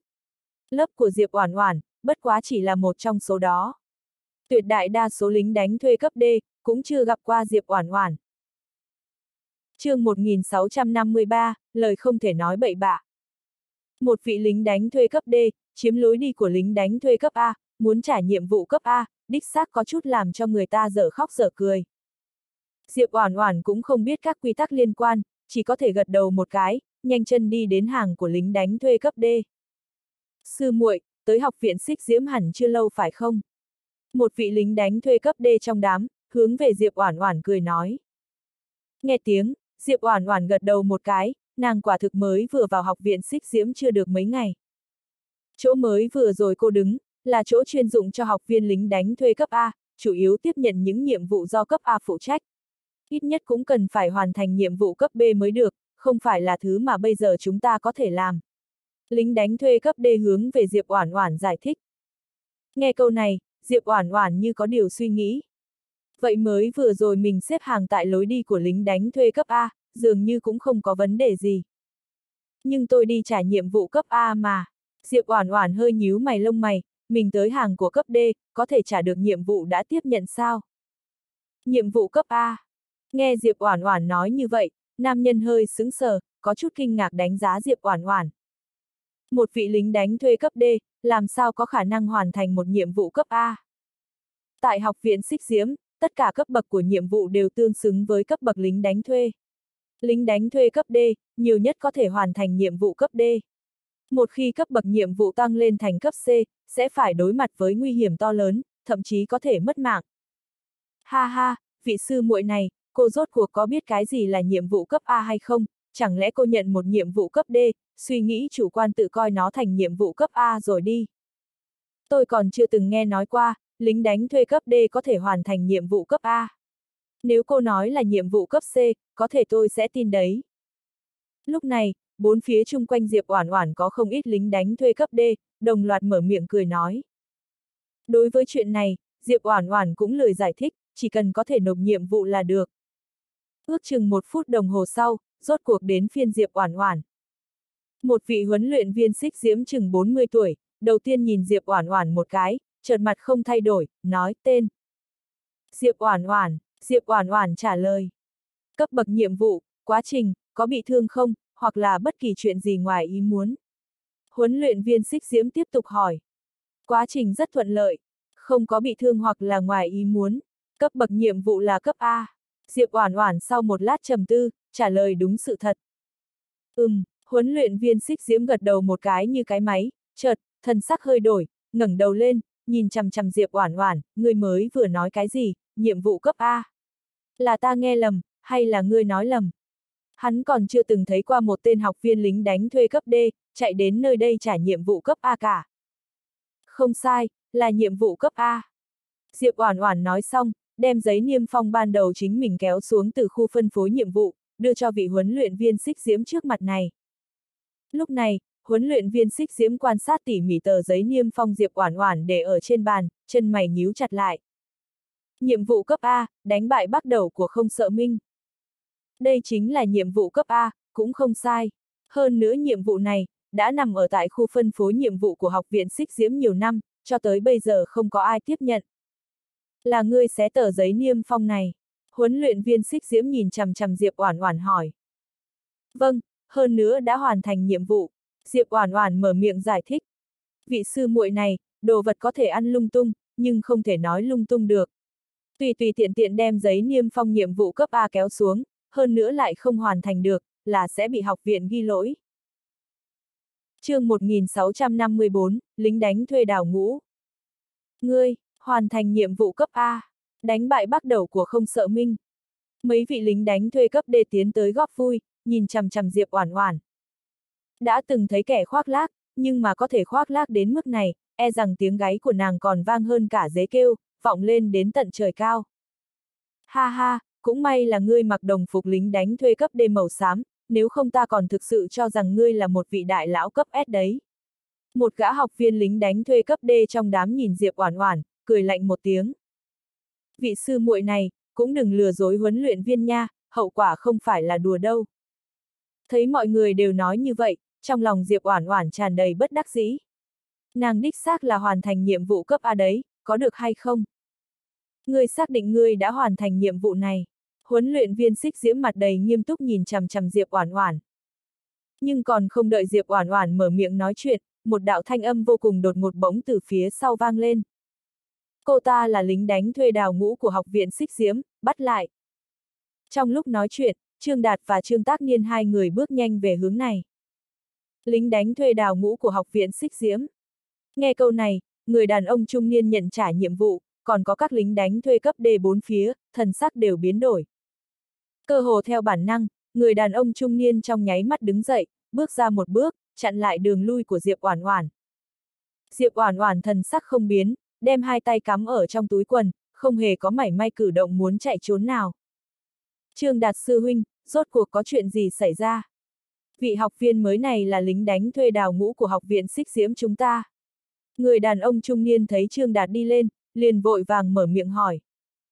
Không sai, Trương Đạt gật đầu một cái.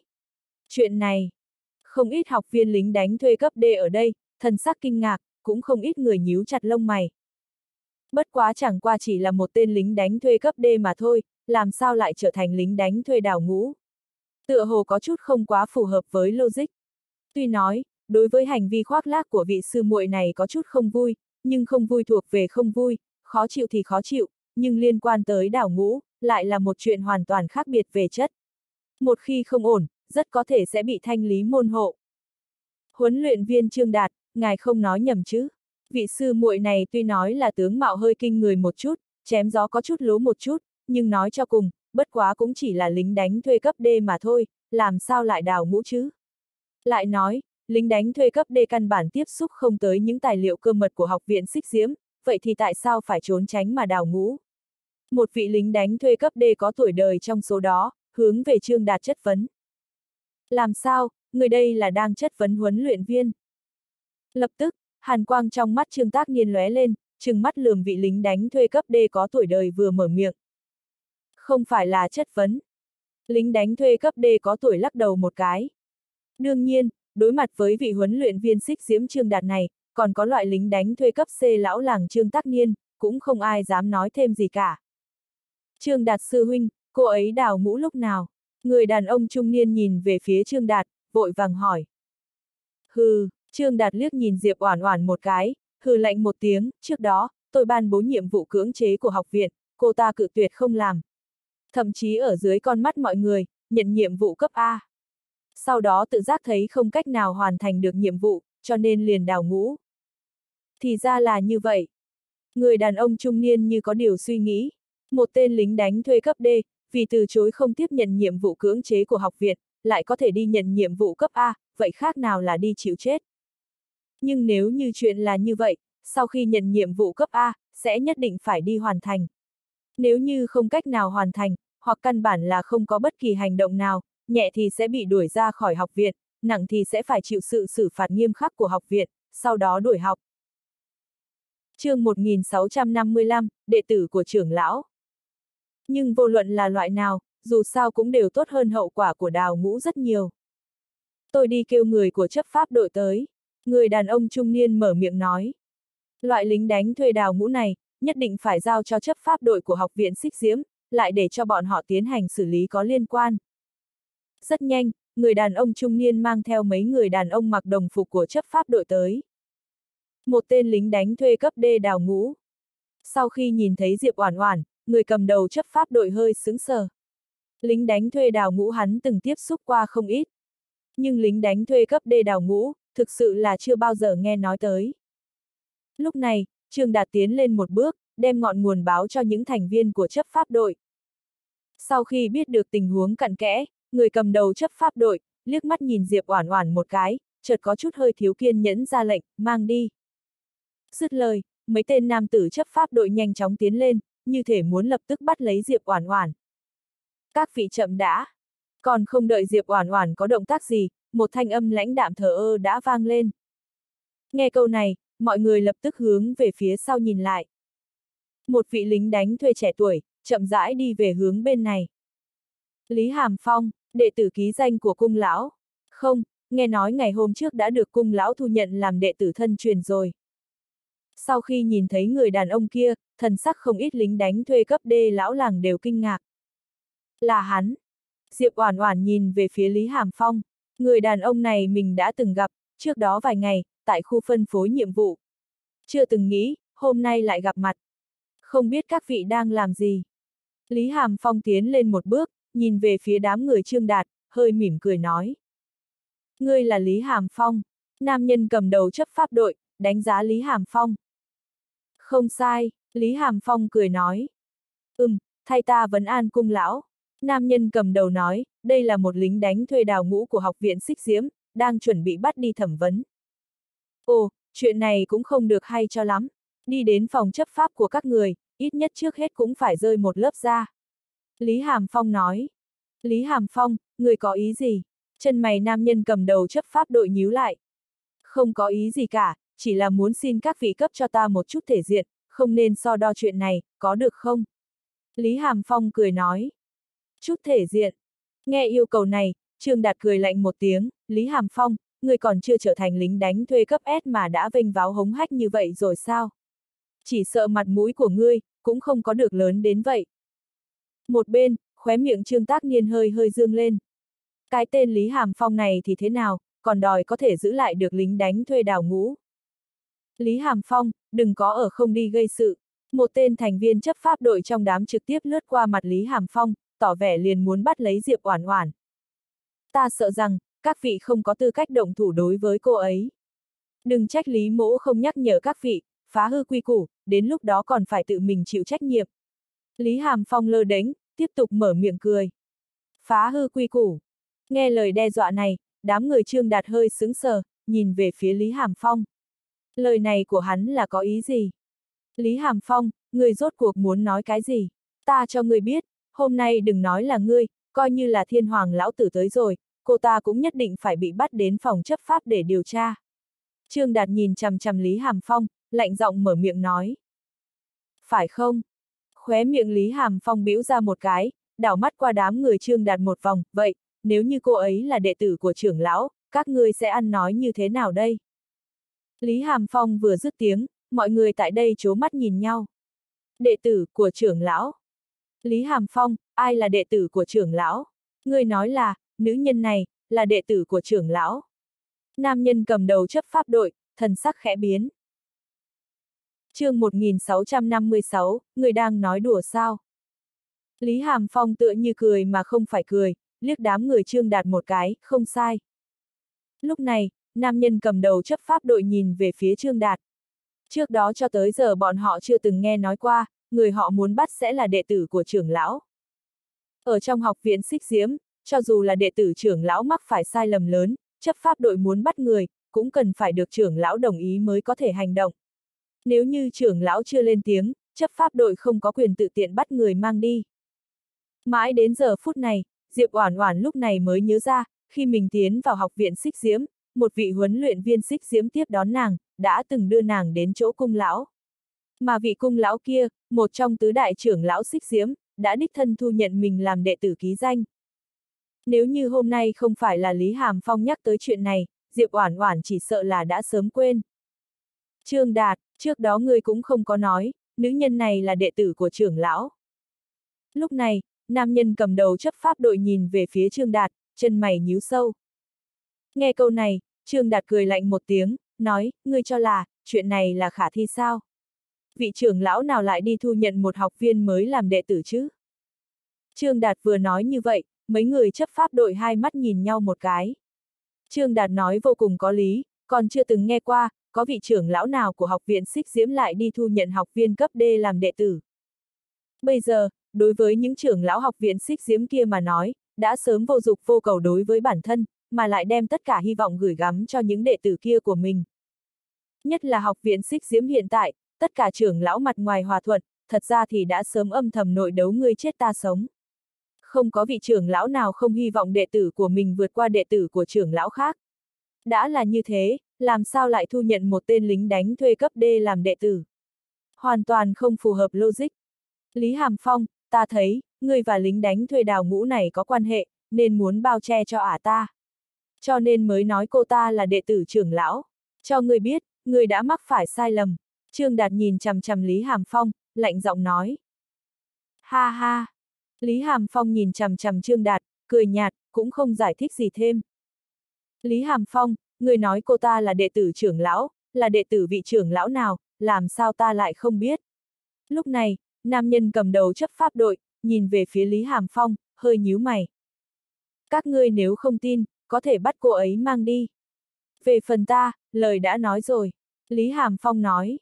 Lý Hàm Phong, người nói cô ta là đệ tử trưởng lão, người ngược lại nói xem một chút, cô ta là đệ tử vị trưởng lão nào? Nam nhân cầm đầu chấp pháp đội mở miệng hỏi. Cung lão, Lý Hàm Phong trả lời. Cung lão, vị sư muội này, là đệ tử cung lão. Làm sao có thể, cung lão là một trong tứ đại trưởng lão của học viện xích diễm. Hai năm gần đây, đệ tử ông ta bị mấy vị trưởng lão khác áp chế nghiêm trọng. Ông ta sẽ đi thu nhận một vị lính đánh thuê cấp D, để cho các trưởng lão khác nhạo báng. Trong lúc nhất thời, không ít lính đánh thuê gần đó luôn miệng bàn tán. Ha ha ha, Lý Hàm Phong, người nói cô ta là đệ tử cung lão. Trương Đạt cười lạnh không dứt, người đang nói đùa sao. Cung lão tại học viện xích diễm nổi danh là mặt lạnh vô tình, tuyệt đối sẽ không dễ dàng thu nhận người khác làm đệ tử.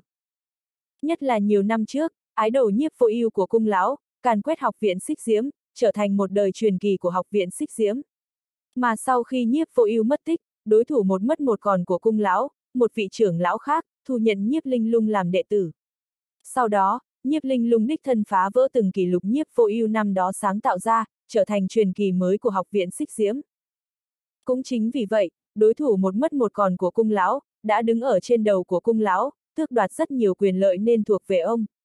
Chuyện có quan hệ tới mặt mũi tôn nghiêm của bản thân, cung lão làm sao có thể sẽ thu nhận một vị lính đánh thuê cấp D làm đệ tử chương 1657, cung lão hiện thân.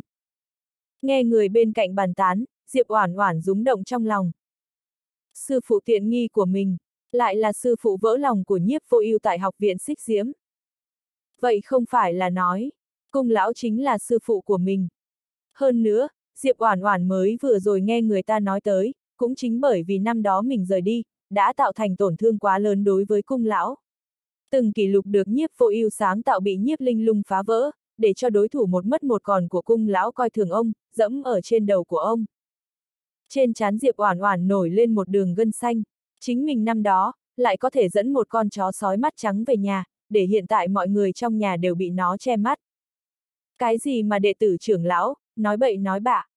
Mang cô ta đi, điều tra cặn kẽ. Một cô gái tướng mạo không tầm thường, thần sắc lạnh nhạt, chậm rãi đi đến đây sau khi liếc nhìn Diệp Oản Oản một cái, mở miệng nói. Nhìn thấy cô ta, thần sắc không ít lính đánh thuê cao cấp bốn phía đều kinh ngạc. Mạnh Khả, thiên tài siêu cấp mới nổi của học viện Xích Diễm. Mới vừa gia nhập học viện Xích Diễm không bao lâu, đã hoàn thành hai nhiệm vụ cấp S, là viên ngọc quý trên tay gia chủ mạnh gia của độc lập châu. Hơn nữa, còn được đối thủ một mất một còn của cung lão thu làm đệ tử thân truyền, cũng là tân truyền kỳ của học viện Xích Diễm, sư muội dòng chính của nhiếp linh lung. Diệp Oản Oản nhìn về phía Mạnh Khả. Cô gái này, thời điểm trước đó khi mình tham gia khảo hạch nhập học cũng từng gặp một lần, là một người kiêu ngạo tự phụ cực độ. Còn ngớ ra làm cái gì, bắt lại nghiêm hình tra hỏi. Thanh âm lãnh đạm của Mạnh Khả từ trong miệng truyền đến. Trương Đạt cười lạnh, đang chuẩn bị để cho người của chấp pháp đội động thủ. Bất ngờ một vị lão già mặc cẩm y, mặt không cảm xúc, chẳng biết từ lúc nào đã xuất hiện tại nơi này. Sư phụ! Thấy lão giả đến, Lý Hàm Phong liền vội vàng tiến lên, cung kính gọi, đồng thời hướng về cung lão hành lễ. Ừm, cung lão nhìn Lý Hàm Phong một cái, đáp lại một tiếng. Con bà nó, lão giả này chính là một trong tứ đại trưởng lão của học viện Xích Diễm, đã từng là truyền kỳ của học viện, lão sư vỡ lòng của nhiếp vô ưu. Cung lão, đã tới học viện Xích Diễm lâu như vậy rồi, nghe nói qua về tứ đại trưởng lão, nhưng cho tới bây giờ chưa từng được gặp. Một tên lính đánh thuê cấp D như ngươi, có thể nhìn thấy đệ tử trưởng lão là có phúc lắm rồi, còn muốn gặp trưởng lão. Một đám lính đánh thuê cấp D lão làng, sau khi nhìn thấy cung lão, liền vội vàng lên tiếng. Con miệng nó, vị sư muội này, chẳng lẽ thật sự là đệ tử cung lão sao? Tôi thấy có thể lắm. Kỳ quái, cung lão những năm gần đây nhất, bởi vì chuyện của đệ tử, bị đối thủ một mất một còn chèn ép chật vật vô cùng, làm sao lại đi thu nhận một tên lính đánh thuê cấp D? Không phải là tạo cơ hội để cho đối thủ một mất một còn chèn ép càng ác hơn sao? Cung lão, ngài làm sao lại tới đây vậy? Giờ phút này, người cầm đầu chấp pháp đội nhìn về phía cung lão, thần sắc kinh ngạc. Nhưng mà, cung lão vẫn không để ý tới, trực tiếp nhìn về phía Diệp Oản Oản cách đó không xa qua đây. Ồ! Diệp Oản Oản theo bản năng đi tới bên người cung lão, mở miệng nói, sư phụ. Diệp Oản Oản không nhìn được quan sát vị lão nhân nhìn có vẻ tịch mịch trước mặt này nhiều hơn mấy lần. Ông ta chính là sư phụ của mình năm đó ở học viện Xích Diễm. Sự thương yêu của cung lão đối với nhiếp vô ưu, tại học viện Xích Diễm không ai không biết. Cũng vì vậy, mà sau khi nhiếp linh lung bái đối thủ một mất một còn của ông làm sư phụ, cố ý phá vỡ kỷ lục của nhiếp vô ưu, cung lão tức giận tới mức miệng phun máu tươi. Nhìn lão nhân trước mắt, chẳng biết tại sao, Diệp Oản Oản không khỏi có chút chua xót trong lòng. Nghe nói, các ngươi muốn bắt đồ nhi của ta. Cung lão đảo mắt nhìn đám người Trương Đạt và chấp pháp đội, thanh âm lãnh đạm như thiên lôi. Chuyện này, lời này vừa nói ra, Trương Đạt thần sắc hoảng sợ, khó tin. Trương Tác Niên bên cạnh càng lộ ra vẻ bối rối. Chương 1658, cường giả tề tụ. Trương Tác Niên làm sao có thể nghĩ đến, nữ nhân này, lại có thể thật sự là đệ tử cung lão. Nếu sớm biết được Diệp Oản Oản là đệ tử cung lão, hắn tuyệt đối sẽ không tùy tiện trêu vào. Cung lão, vị học viên này, thật sự là đệ tử của ngài. Nam nhân cầm đầu chấp pháp đội, nhìn về phía Diệp Oản Oản, thần sắc hơi có chút kinh ngạc. Còn cần ta lặp lại lần nữa sao? Cung lão nhìn chằm chằm hắn ta, ngữ khí lãnh đạm thờ ơ. Cung lão, tôi không phải là có ý này. Nam nhân cầm đầu chấp pháp đội lắc đầu một cái, như là còn muốn nói thêm gì nữa, nhưng cuối cùng cũng không mở miệng. Nhưng, cho dù Diệp Oản Oản là đệ tử cung lão, đã làm ra chuyện đào ngũ, chỉ sợ cũng khó mà bảo toàn. Coi như là đệ tử trưởng lão, làm ra chuyện như thế, vẫn như cũ khó thoát khỏi bị học viện trách phạt. Giờ phút này, Mạnh Khả trước đó một mực không mở miệng, mặt không cảm xúc lên tiếng. Nghe câu này, ánh mắt lãnh đạm thờ ơ lạnh như băng của cung lão, trong nháy mắt rơi vào trên người Mạnh Khả, tiểu bối, ngươi là đang nói chuyện cùng ta sao? Bị cung lão lạnh lùng nhìn chăm chú, chân mày Mạnh Khả hơi hơi nhíu lại, phảng phất như có một tòa núi cao đặt ở trên người của mình, ngay cả hơi thở cũng đều có chút khó khăn. Ha ha! Bỗng nhiên trong lúc đó, một vị lão giả mặc kim bào khác chậm rãi đi đến đây, đi tới bên cạnh Mạnh Khả. Nhìn thấy kim bào lão giả, thần sắc Mạnh Khả khẽ đổi, liền vội vàng ôm quyền hành lễ, sư phụ. Tham kiến trưởng lão lôi hạ. Nhìn thấy kim bào lão giả hiện thân, đám người chấp pháp đội và Trương Đạt liền vội vàng hành lễ. Nhất là Trương Đạt, âm thầm thở phào nhẹ nhõm. Vị trưởng lão lôi hạ này, cũng là một trong tứ đại trưởng lão của học viện xích diếm, cũng là đối thủ một mất một còn của cung lão. Năm đó, sau khi nhiếp vô ưu mất tích, nhiếp linh lung gia nhập học viện xích diếm, chính là bái nhập môn hạ của vị trưởng lão lôi hạ này. Cũng với sự chỉ điểm của ông ta, ả à ta đã tự mình phá vỡ từng kỷ lục một của nhiếp vô ưu tại học viện xích diếm, đem cung lão chọc tức tới hộc máu. Nhất là trong mấy năm gần đây, đồ nhi của trưởng lão lôi hạ, cơ hồ đều đối chọi với đệ tử cung lão, chèn ép người của cung lão. Nhìn thấy lôi hạ xuất hiện, trong mắt cung lão hiện ra một vệt ánh sáng lạnh lẽo. Ông ta cùng với lôi hạ, từ thời thiếu niên, đồng thời gia nhập học viện lính đánh thuê xích diễm. Cái tên lôi hạ này, lúc còn trẻ tướng Mạo Anh Tuấn, thân hình cao lớn, thừa dịp chính cung lão không có ở học viện, làm nhục ái thê của ông. Ái thê cảm thấy hổ thẹn đối với ông, không lâu sau đó đã tự sát, khí tuyệt bỏ mình. Mà lôi hạ lại luôn miệng nói là ái thê của cung lão chủ động câu dẫn hắn ta. Học viện và cung lão cũng không có chứng cớ, cộng thêm khi đó lôi hạ đã trở thành trụ cột của học viện xích diễm. Cho nên, chỉ có thể chuyện lớn hóa nhỏ. Hơn 20 năm trước, sau khi cung lão say rượu liền đi tìm lôi hạ báo thù, hai người khơi mào nội loạn tại học viện xích diễm. Cuối cùng vì cung lão say rượu, thực lực không cách nào toàn lực phát huy, bị thương mà chấm dứt. Cung lão, người giàu gì cũng là một trong tứ đại trưởng lão của học viện xích diễm. Đồ nhi của mình không có bản lĩnh, liền đích thân ra mặt, khi dễ đồ nhi của lôi mỗ sao. Giờ phút này, lôi hạ trừng mắt nhìn cung lão một cái, cười lạnh. Trưởng lão lôi hạ, là đồ nhi của cung lão đào ngũ. Lúc này, Trương Đạt thấp giọng mở miệng nói. Nghe lời tố cáo này, khóe miệng lôi hạ hơi hơi nhếch lên, đồ nhi. Cung lão, vị đồ nhi cấp đê này của ngươi, ngược lại cũng có chút bản lĩnh. Ngay cả chuyện đào ngũ, cũng dám làm được. Đào ngũ chính là đại kỵ của học viện, đừng nói chi là đệ tử của trưởng lão, cho dù là đệ tử của viện trưởng, nếu như dám đào ngũ, coi như viện trưởng tự mình ra mặt, cũng tuyệt đối đảm bảo không thoát được. Thấy cung lão và trưởng lão lôi hạ ra mặt, sự tình càng náo càng lớn, đã làm kinh động rất nhiều cao tầng của xích diễm ở xung quanh, bao gồm cả đội trưởng chấp pháp đội, và rất nhiều trưởng lão cao tầng khác. chương 1659, không coi bề trên ra gì. Nhìn thấy nhân vật cao tầng càng ngày càng nhiều, lôi hạ mặt đầy ý cười lạnh, hắn ngược lại muốn nhìn một chút, hôm nay cái tên cung lão này, làm cách nào có thể thu dọn đống bừa bộn này. Cung lão, sao ông lại thu nhận một tên lính đánh thuê cấp D làm đệ tử? Cung lão, mặc kệ đệ tử của ông như thế nào, nhưng đã có hành vi đào ngũ, thì nhất định phải chịu xử lý. Lúc này, không ít nhân vật cao tầng, hùa vào như một đám ruồi vo ve. Vào giờ phút này, chân mày cung lão hơi nhíu lại, nhìn về phía Diệp Oản Oản, mở miệng hỏi, Oản Oản, rốt cuộc có chuyện gì xảy ra, đào ngũ ly khai, sao có thể có chuyện này? Nghe cung lão hỏi vậy, Diệp Oản Oản khẽ gật đầu một cái, sư phụ, đơn thuần là có người vu hãm con, đệ tử cũng chưa bao giờ làm ra những chuyện như đào ngũ. Hừ, thật là chuyện cười lớn. Ngươi nói là, đường đường là một vị huấn luyện viên xích diễm như ta, còn phải vu hãm một tên lính đánh thuê cấp D như ngươi sao? Trương Đạt trừng mắt lườm Diệp Oản Oản một cái. Ha ha, Diệp Oản Oản nhìn chằm chằm Trương Đạt, khóe miệng hơi hơi dương lên, nở một nụ cười lạnh như băng, nếu ngươi biết ta là lính đánh thuê cấp D, vậy ngươi cũng nói xem, một tên lính đánh thuê cấp D như ta vì sao phải đào ngũ. Cùng lắm thì nghỉ học là được rồi. Học viện xích diễm, chỉ có lính đánh thuê đạt tới cấp B mới không cách nào nghỉ học, chỉ có thể đào ngũ. Một lính đánh thuê cấp D như ta, muốn rời đi, vì sao không nghỉ học, mà phải đào ngũ.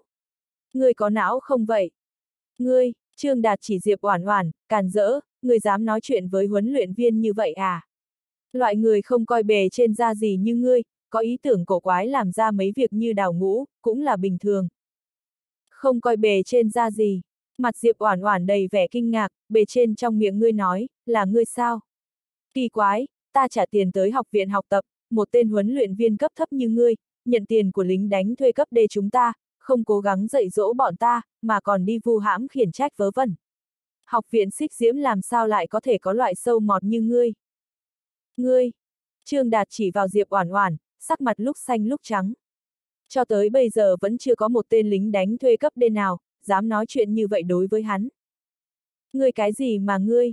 Diệp Oản Oản đảo mắt nhìn những người lính đánh thuê cấp D xung quanh, tự nhìn một chút đi, những vị sư huynh sư tỷ này, có những người đã đến học viện xích diễm 4, 5 năm rồi, đến bây giờ vẫn còn là lính đánh thuê cấp D, có phải là lỗi của ngươi hay không? Nghe Diệp Oản Oản nói như vậy, bốn phía, không ít các vị lính đánh thuê cấp D lão làng đồng loạt gật đầu. Đúng vậy, tôi đã làm lính đánh thuê cấp D 3 năm rồi đấy, vậy mà chẳng học được cái gì. Hàng năm nộp nhiều tiền như vậy, ngay cả cấp C cũng không thăng lên được. Người nhà tôi đều nói tôi là kỳ tài võ đạo, học cái gì cũng nhanh, khẳng định không phải là vấn đề xuất phát từ tôi. Hừ, tôi đã 5 năm rồi này, không phải vẫn là lính đánh thuê cấp D sao? Có vài vị huấn luyện viên xích diễm, bí mật nhận đút lót mới chịu dạy dỗ đàng hoàng. Không chịu đút lót, có lúc còn bị chèn ép, bị dìm. Tôi cảm thấy vị sư muội này nói không có chỗ nào sai cả.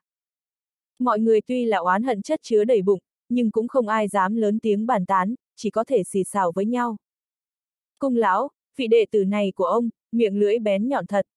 Thân là học viên lính đánh thuê, ngay trước mặt mọi người chống đối huấn luyện viên, còn nói huấn luyện viên vu hãm cô ta, có phần cũng quá cản rỡ. Một vị lão giả cao tầng của học viện xích diễm, lạnh giọng trách mắng. Ha ha, quả là dạng sư phụ nào thì có dạng đồ nhi đó. Lôi hạ cười lạnh một tiếng.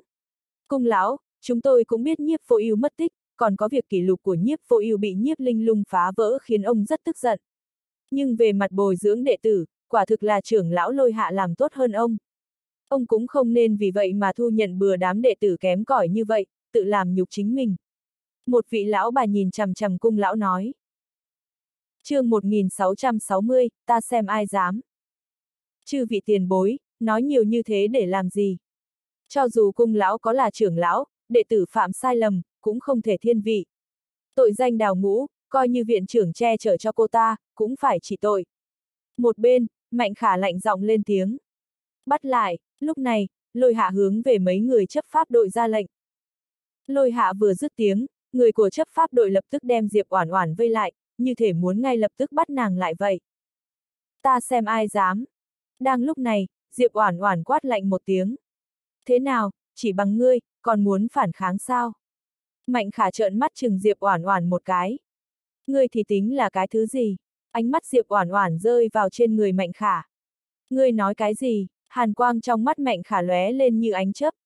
Nhưng mà, Diệp Oản Oản cũng không thèm phản ứng lại Mạnh khả, ngược lại còn đảo một vòng về phía đám cao tầng và trưởng lão lôi hạ, lạnh giọng cười nói, những cao tầng học viện xích diễm như các ngươi, quả thật rất là không biết xấu hổ nha. Diệp Oản Oản dứt tiếng, các cao tầng ở đây nhất thời đều sửng sốt một chút. Từ khi học viện xích diễm sáng lập tới nay, trừ vị nhiếp vô ưu kia đã từng ở ngay trước mọi người nhục mạ các cao tầng và trưởng lão của học viện xích diễm ra, vẫn không có một người nào khác dám làm như vậy. Nữ nhân này là người thứ hai, mà lại mới chỉ là một lính đánh thuê cấp D thôi đấy. Tội đại bất kính, đáng phải chết. Trương Đạt quát lên. Tội đại bất kính cái con mẹ ngươi. Diệp Oản Oản lườm Trương Đạt một cái, các ngươi nói ta đào ngũ, đó chính là tung tin vịt phỉ báng. Tội danh này của ta một khi bị vu cáo thành công, vậy các ngươi chính là những kẻ mưu sát. Sát hại học viên của chính mình, đó chính là gây ra lục đục, làm phản. Ta hỏi các ngươi một câu, tội danh nào lớn hơn? Còn không đợi trưởng lão cao tầng mở miệng, cung lão ở bên cạnh, nhìn về phía Diệp Oản Oản, Oản Oản, con nói là, chính mình cũng không hề đào ngũ, là bị oan uổng. Sư phụ, đích xác là như vậy.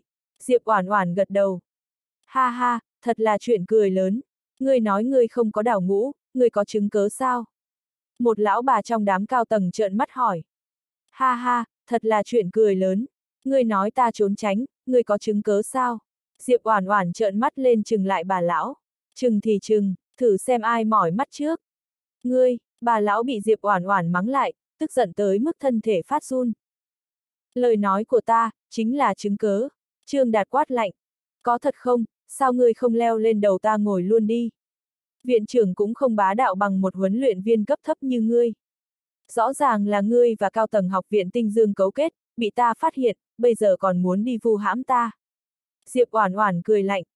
Ai cùng học viện tinh dương cấu kết, ngươi đừng có đánh giám. Trương Đạt căm tức nhìn Diệp Oản Oản. Học viện tinh dương và xích diễm, từ trước đến giờ đều là đối thủ một mất một còn. Loại tội danh này, cũng không phải chuyện đùa đâu. Chính là ngươi cùng cao tầng học viện tinh dương cấu kết, muốn diệt khẩu ta. Diệp Oản Oản lạnh nhạt nói. Ngươi có chứng cớ sao? Trương Đạt tức giận. Lời nói của ta, chính là chứng cớ. Diệp Oản Oản đem nguyên văn trả lại cho Trương Đạt. Hay cho một con nhãi danh miệng lưỡi bén nhọn như ngươi. Trương Đạt bị tức đến mức sắc mặt trắng bệch. Nhãi danh thì không dám nhận, nhưng cũng tốt hơn, lão danh, như ngươi. Diệp Oản Oản cười khanh khách. Oản Oản, nếu như con có chứng cớ thì mau lấy ra. Có sư phụ ở đây, con không cần sợ bất luận kẻ nào. Giờ phút này, cùng lão đứng ở bên cạnh Diệp Oản Oản, mở miệng nói.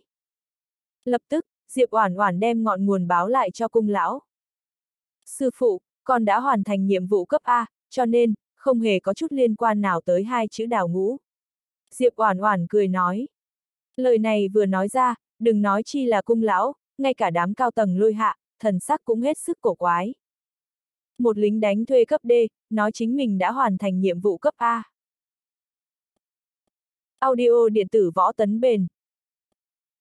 chương 1661, lừa các người chút thôi.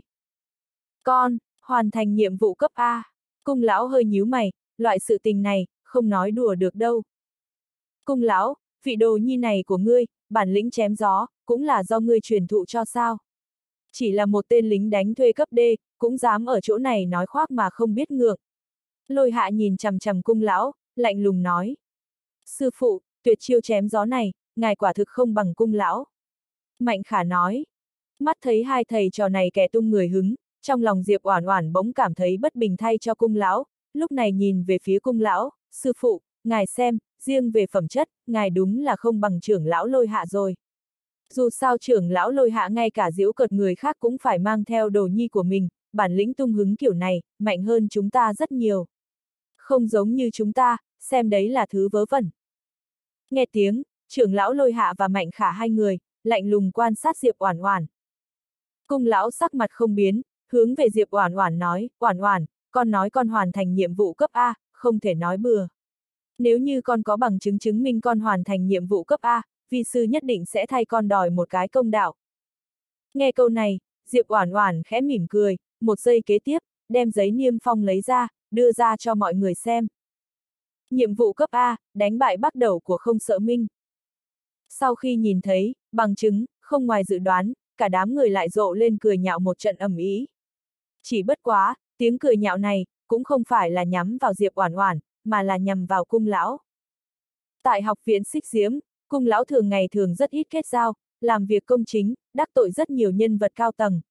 Mà vừa vặn, những cao tầng này, mượn sự việc Diệp Oản Oản để chèn ép cung lão. Về phần Diệp Oản Oản có đào ngũ hay không, căn bản cũng không ai quan tâm. Đây cũng là trò chơi quyền lực của chúng cao tầng xích diễm. Không sợ minh, ha ha, cung lão, vị đồ nhi này của ông, cũng có phần vô cùng đáng yêu. Bắt đầu chính là kiện tướng đắc lực dưới trướng không sợ minh chủ, cũng là tâm phúc của tóc húi cua ca. Bà lão bên cạnh lôi hạ cười nhạo nói. Ta nói này cung lão, đồ nhi này của ngươi, có phải là biết khó thoát khỏi tội đào ngũ rồi, cho nên dứt khoát chơi tới bến luôn đúng không? Đánh bại bắt đầu của không sợ minh, chỉ dựa vào một lính đánh thuê cấp D như cô ta. Trong lúc nói chuyện, trưởng lão lôi hạ nháy mắt cho đồ nhi Mạnh Khả. Lúc này, Mạnh Khả lạnh lùng mở miệng, ha ha, nếu ngươi nói chính mình hoàn thành nhiệm vụ cấp A, đánh bại bắt đầu, không thành vấn đề. Lấy chứng cớ ra, trên chi tiết nhiệm vụ không phải đã nói rồi sao, yêu cầu có video làm chứng. Oản oản, video, cung lão nhìn về phía Diệp Oản Oản. Nghe tiếng, Diệp Oản Oản gật đầu, lục lọi trong túi một hồi. Một giây kế tiếp, Diệp Oản Oản thần sắc đại biến, không tốt. Điện thoại di động bị rớt rồi. Video ở trong điện thoại di động. Diệp Oản Oản vừa dứt tiếng, toàn trường lại nghênh đón một trận cười vang, thậm chí một số lính đánh thuê đẳng cấp cao, phình bụng cười to. Điện thoại di động rớt, cái cớ này, có chút hơi quá mức buồn cười. Nhưng mà, thần sắc cung lão lại không có gì thay đổi, phảng phất như nằm trong dự liệu. Dù sao, người đệ tử ký danh này của ông, chẳng qua chỉ là một tên lính đánh thuê cấp D mà thôi, làm sao có thể hoàn thành nhiệm vụ cấp A, lại còn có liên quan tới không sợ minh. Ta là bắt đầu của không sợ minh, ngươi là lính đánh thuê nhà nào, tới khiêu chiến với lão tử. Trong lúc mọi người đang phình bụng cười to, Diệp Oản Oản mặt đầy vẻ tà mị, cầm điện thoại di động trong tay.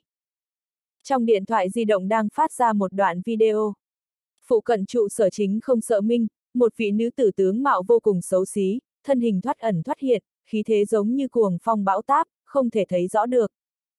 Chỉ thấy bắt đầu giao chiến không tới hai hiệp, đã bị nữ nhân xấu xí tung một cước đá ngã lộn mèo trên mặt đất. Sau đó, nữ nhân đem bắt đầu dẫm ở dưới chân. Ngại quá, điện thoại di động không bị rơi, lừa các người chút thôi. Khóe miệng Diệp Oản Oản khẽ nhếch lên, cười khẽ. Chương 1662, nữ nhân này bị ngu sao? Vào giờ phút này, toàn trường mọi người yên lặng như tờ. Video trong điện thoại di động của Diệp Oản Oản bắt đầu bị đạp bay trên đất, vô cùng chật vật. Làm sao có thể? Đám lính đánh thuê cấp D ở chung quanh, nhìn chằm chằm nội dung video trong điện thoại di động của Diệp Oản Oản, khó mà tin nổi. Bắt đầu, tâm phúc của không sợ minh chủ tóc húi cua ca, cứ như vậy mà bị một vị lính đánh thuê cấp D của học viện xích diễm ung dung đánh bại, hơn nữa còn bị dẫm ở dưới chân. Loại chuyện này, làm sao có thể phát sinh được? Nực cười, Mạnh Khả nhìn chằm chằm Diệp Oản Oản, người nói hắn ta là bắt đầu của không sợ minh, thì chính là hắn sao? Người của không sợ minh, phần lớn rất thần bí, rất ít có người ngoài thấy được, người lấy cái gì để chứng minh? Nghe câu lý luận cùn này, khóe miệng Diệp Oản Oản hơi co rúm lại. Nữ nhân này, chẳng lẽ bị ngu sao? Chỉ cần có một chút não, hẳn cũng sẽ hiểu được, ở trong loại tình huống như thế này, ai sẽ lấy một video giả ra. Nếu như người kia không phải là bắt đầu, chỉ sợ trong nháy mắt sẽ bị vạch trần. Xem ra, đám con gái của các võ đạo thế gia độc lập châu này, luyện võ đến mức tẩu hỏa nhập ma rồi, ngay cả não cũng bị chó gặm mất. Không sai, người nói người trong video là bắt đầu, có chứng cớ gì? Chỉ bằng một tên lính đánh thuê cấp D như ngươi, đừng nói là đánh bại bắt đầu, chỉ sợ ngươi ngay cả không sợ mình cũng đều không đến gần được. Cách đó không xa, Trương Tác Niên cũng lạnh giọng cười nói. Còn không đợi Diệp Oản Oản mở miệng, một vị học viên lính đánh thuê cấp S mặc áo bảo hoàng kim vàng óng đi tới gần, sau khi liếc mắt nhìn bắt đầu trong video đang gào thét đầy bi thương, mặt không đổi sắc nói, nam nhân trong video này, đích xác là bắt đầu. Tại không sợ minh, trừ những trưởng lão kia và tóc húi cua ca thập phần thần bí ra, những người giống như bắt đầu, bình thường đều kiêu căng vạn phần.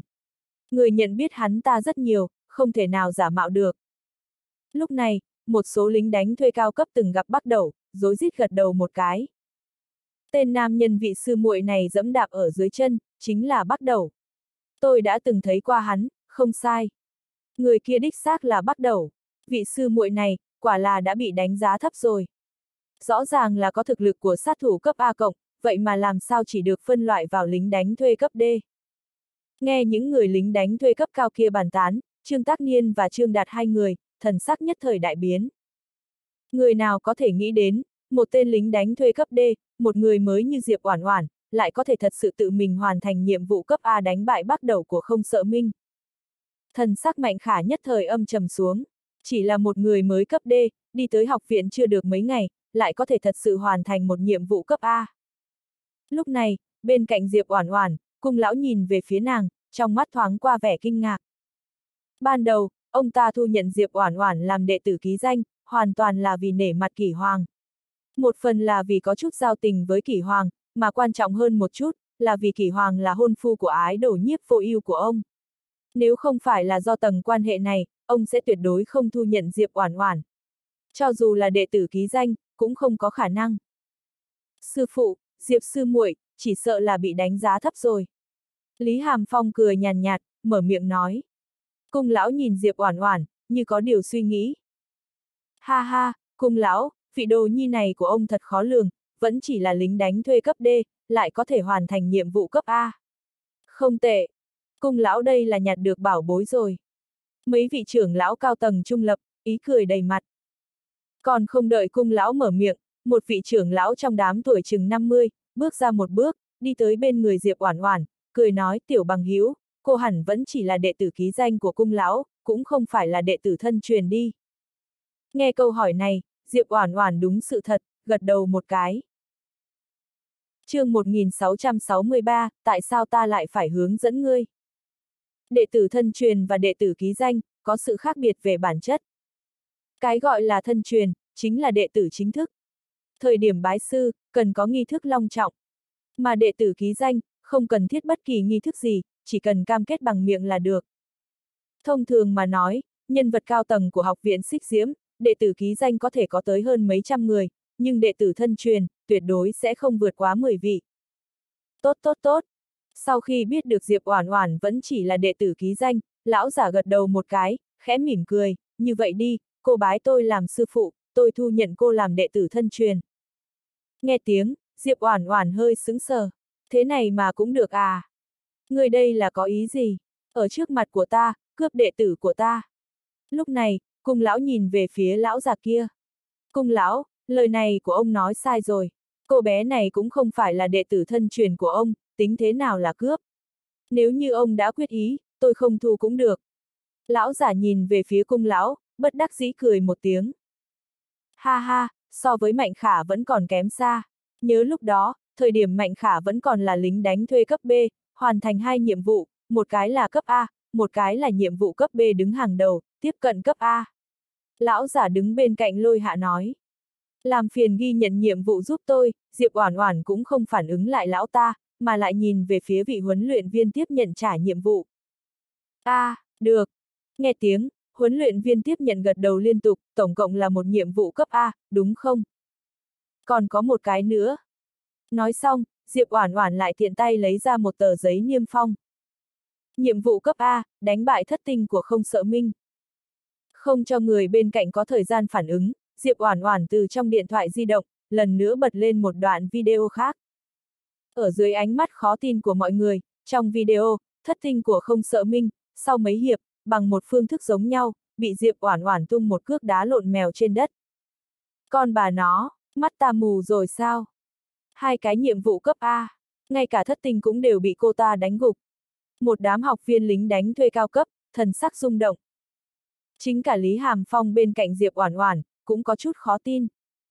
Đừng nói chi là một tên lính đánh thuê cấp D, ngay cả chính bản thân Lý Hàm Phong, cũng không dám nói mình có thể đánh bại thất tinh và bắt đầu của không sợ minh, khỏi phải bàn tới đồng thời hạ hai người cùng lúc. Giờ phút này, thần sắc cung lão không khỏi có chút kinh ngạc. Ông ta thật sự đã gặp được một khối báu vật, vậy mà chính bản thân lại nhận không ra. Hai, hai cái nhiệm vụ cấp A. Huấn luyện viên tiếp nhận như gặp quỷ, nhìn chằm chằm Diệp Oản Oản. Đây không phải là so với đồ đệ của trưởng lão lôi hạ, Mạnh Khả còn trâu bò hơn sao? Mạnh Khả thời điểm còn lính đánh thuê cấp B, kỷ lục vẫn là hoàn thành một nhiệm vụ cấp A và một nhiệm vụ cấp B hàng đầu. Vị đồ đệ này của cung lão, vẫn chỉ là lính đánh thuê cấp D, lại hoàn thành hai nhiệm vụ cấp A, đều có liên quan tới không sợ minh. Một vị lính đánh thuê cao cấp, bỗng nhiên mở miệng nói. Nghe tiếng, sắc mặt trưởng lão lôi hạ nhất thời lạnh xuống. Thấy sư phụ thần sắc không vui, Mạnh Khả bỗng nhiên tiến lên một bước, chỉ vào Diệp Oản Oản, lạnh lùng nói, Diệp sư muội, tướng mạo bình thường, thực lực lại không tệ, thật là nhìn người không thể chỉ nhìn tướng mạo. Nếu đã như thế, ta muốn mời Diệp sư muội thỉnh giáo mấy chiêu. Lời nói được trao chuốt vỏ bọc kỹ càng của Mạnh Khả phát ra, toàn trường yên lặng như tờ. Mạnh Khả, người muốn lãnh giáo, ta đến bồi ngươi. Lý Hàm Phong tiến lên một bước, đem Diệp Oản Oản ngăn ở phía sau.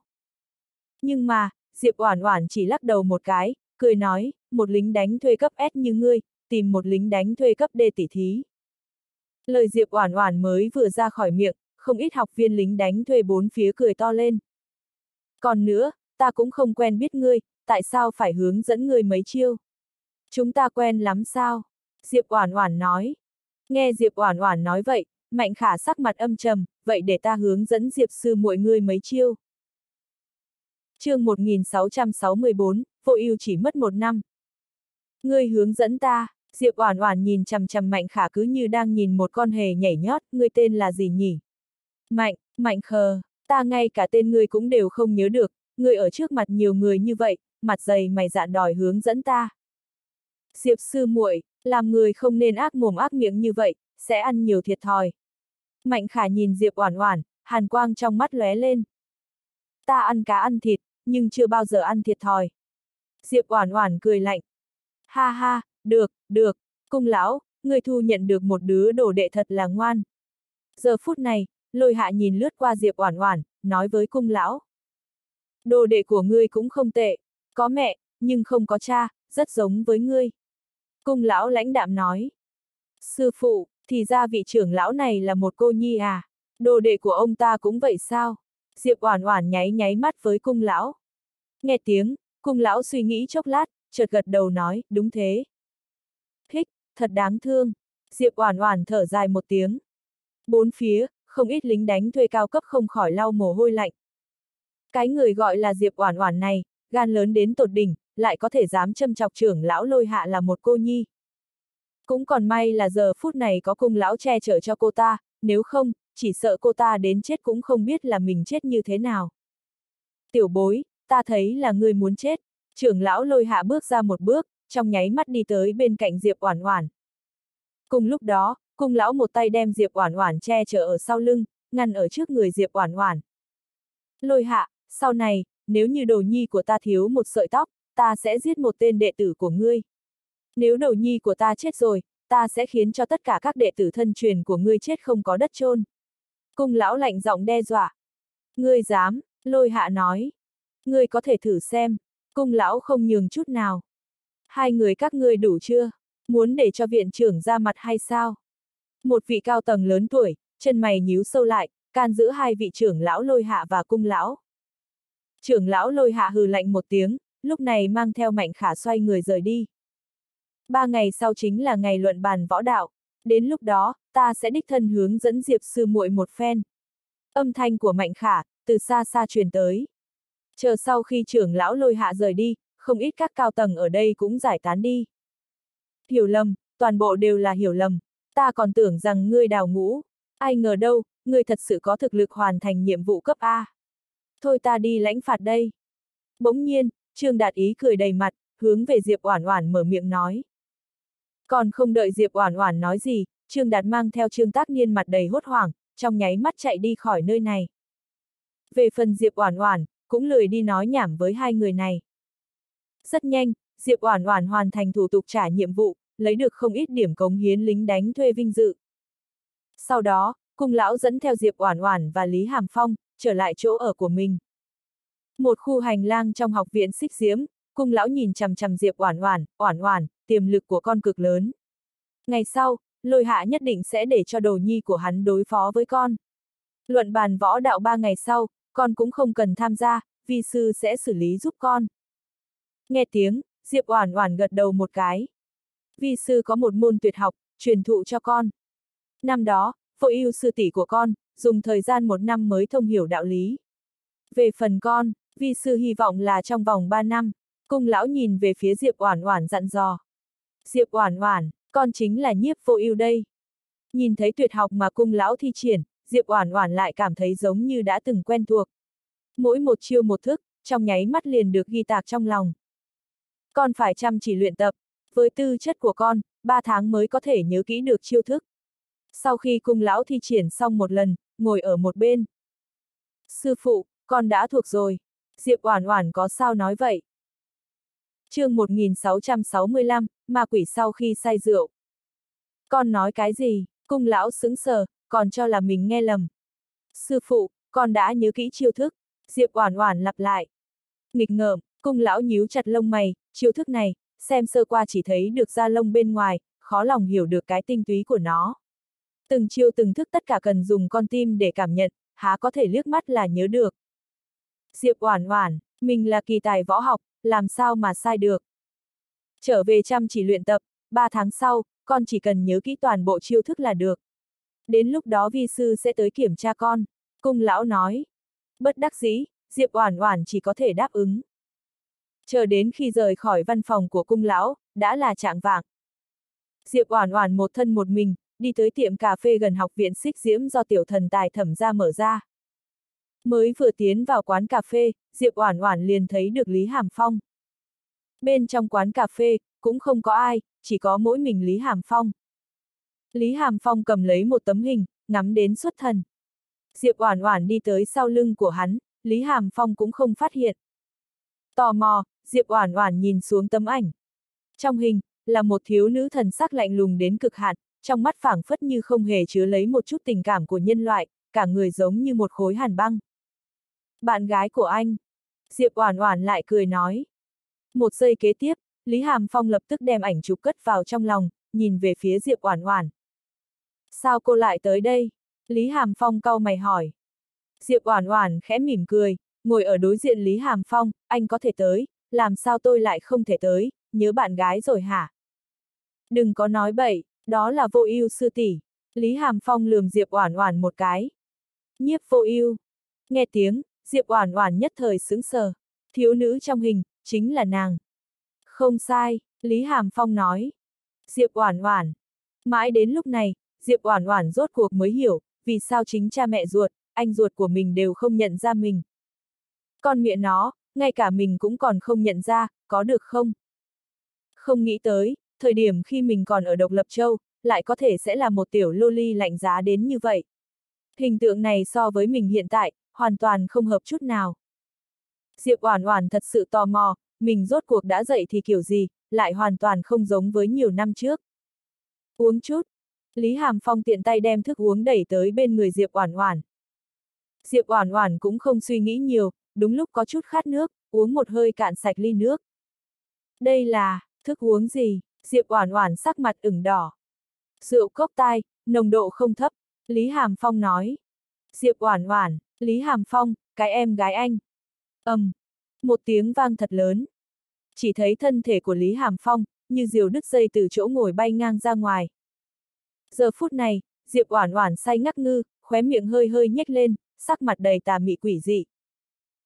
Không biết qua bao lâu, Diệp Oản Oản lúc này mới khôi phục lại ý thức, mở hai mắt ra. Bên trong quán cà phê là một mảnh hỗn độn, bàn ghế ngã nghiêng ngã ngửa, quầy nước cũng bể nát bét. Mấy vị nhân viên làm việc nhìn chằm chằm Diệp Oản Oản như gặp quỷ, mặt đầy hốt hoảng. Vết máu nơi khóe miệng Lý Hàm Phong đã đông đặc, sắc mặt trắng bệch, đang ngồi ở một bên. Diệp Oản Oản dùng sức day day huyệt thái dương một cái, một thân toàn mùi rượu. Cô là ma quỷ sao? Thấy Diệp Oản Oản tỉnh lại, Lý Hàm Phong mặt không cảm xúc nhìn chằm chằm Diệp Oản Oản. Ma quỷ, Diệp Oản Oản mộng bức rồi, nàng đã làm cái gì? Ký ức sau cùng nàng còn nhớ, là uống một ly rượu cốc tai nồng độ cao. Phần sau đó, một chút nàng cũng không nhớ. Cô, cô không biết đã xảy ra chuyện gì. Một vị nhân viên trong đám mặt tràn đầy sợ hãi. Diệp Oản Oản lắc đầu một cái. Làm sao nàng biết được có chuyện gì xảy ra? Cô, tự cô nhìn một chút đi.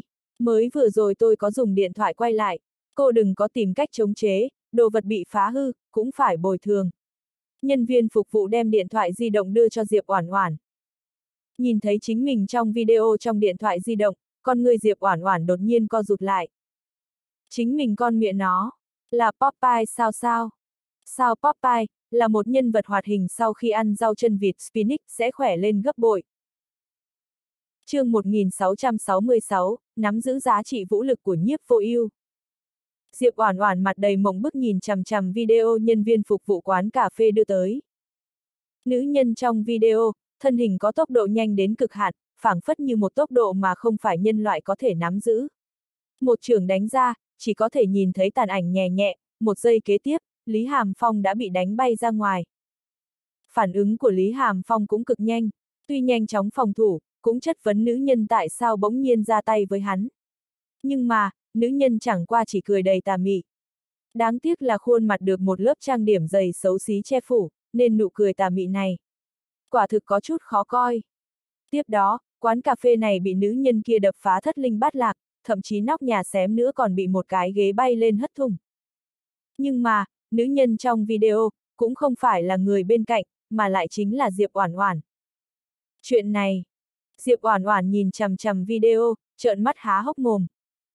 Chính mình mới vừa uống một lý rượu cốc tai nồng độ cao Lý Hàm Phong đẩy tới. Sau đó, liền gây chuyện. Đối với tử lượng của mình, Diệp Oản Oản cũng có chút tự hiểu. Nhưng những hành vi trong đoạn video đó, lại khiến Diệp Oản Oản không cách nào lý giải được. Nàng từ lúc nào đã biến thành Popeye rồi vậy hả? Popeye người ta là ăn rau chân vịt mới biến thân, còn mình. Còn mình thì lại là uống rượu say xong liền biến thân. Diệp sư muội, nếu cô muốn so tài, có thể nói rõ với tôi. Tại sao phải đánh lén tôi? Lý Hàm Phong sắc mặt trắng bệch, đem vết máu ở khóe miệng lau đi. Diệp Oản Oản, làm sao tôi biết được chứ? Diệp Oản Oản có thể thề với cái bóng đèn của quán cà phê, nàng cho tới bây giờ không biết sau khi mình uống say sẽ có bộ dáng này có được không? Khó trách, khó trách. Giờ phút này, Diệp Oản Oản chợt nhớ tới, ban đầu lúc mình ở không sợ minh, sau khi mình đem chai rượu mạnh do cầu tạp chủng dịch thủy hàn tặng uống hết sạch, sau đó say bất tỉnh nhân sự.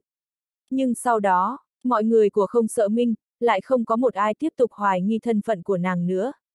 Thậm chí đám người đại trưởng lão và tam trưởng lão, toàn bộ đều cúi đầu xưng thần đối với nàng. Chính mình sau khi uống rượu, cũng thật là quá kinh khủng đi. Chính mình sau khi uống say, quả thật là tàn khốc đến không thể tàn khốc hơn được nữa. Nếu như mình có loại thân thủ này, ngày sau tại Độc Lập Châu hoàn toàn có thể quét ngang, nào còn sợ ai nữa chứ?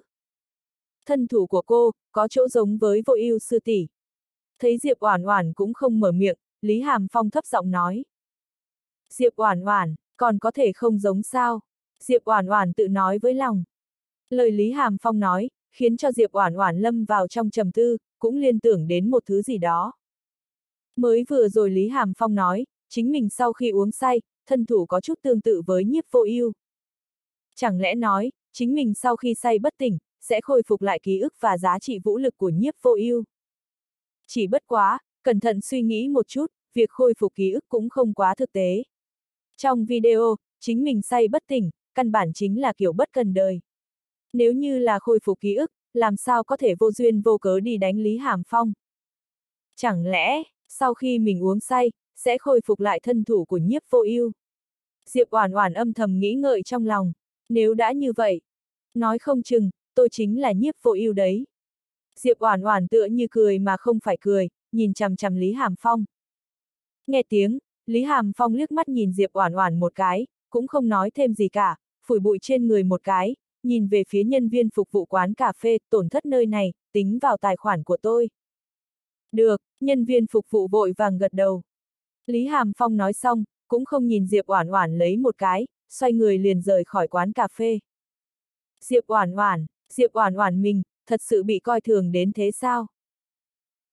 Chương 1667, tham gia luận bàn võ đạo. Sau khi Lý Hàm Phong rời đi, không bao lâu sau Diệp Oản Oản cũng xoay người rời đi theo.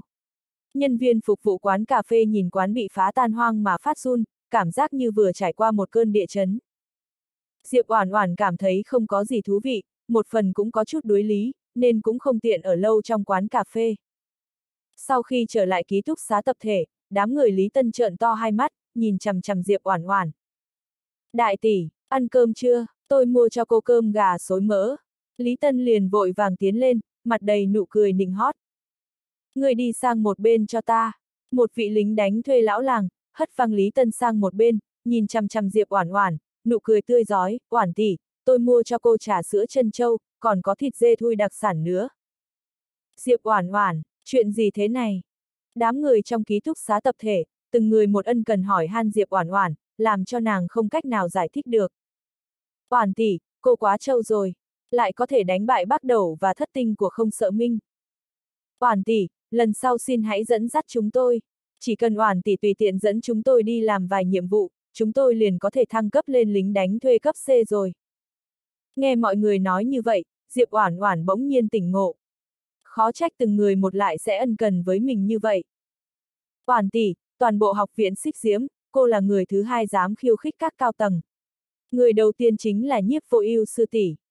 Nhiếp vô ưu sư tỷ chính là truyền kỳ của học viện xích diễm, đã từng sáng lập biết bao nhiêu kỷ lục. Đáng tiếc, sau đó đều bị nhiếp linh lung sư tỷ phá vỡ mất rồi. Hàn quang trong mắt Diệp Oản Oản lấp lóa, những thứ bị nhiếp linh lung cướp đi, nàng sẽ cầm về lại. Rất nhanh thôi. Sáng sớm hôm sau, Diệp Oản Oản đi tới bên trong trang viên của cung lão. Trong đại đường, trừ cung lão ra, còn có một vị lão bà. Bà lão này hôm qua Diệp Oản Oản từng gặp, chính là trưởng lão cao tầng bên phe lôi hạ. Cung lão, vị đệ tử này của ông, nhất định phải tham gia luận bàn võ đạo. Bà lão cười lạnh nói.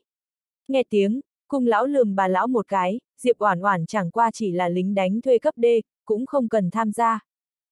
Ha ha, cung lão, nhưng đồ nhi này của ông, đã hoàn thành hai cái nhiệm vụ cấp A. Mặc kệ cô ta là cấp bậc gì, đều phải tham gia. Hơn nữa, trưởng lão lôi hạ đã xin phép viện trưởng. Viện trưởng cũng đồng ý. Bà lão ngoài cười nhưng trong không cười.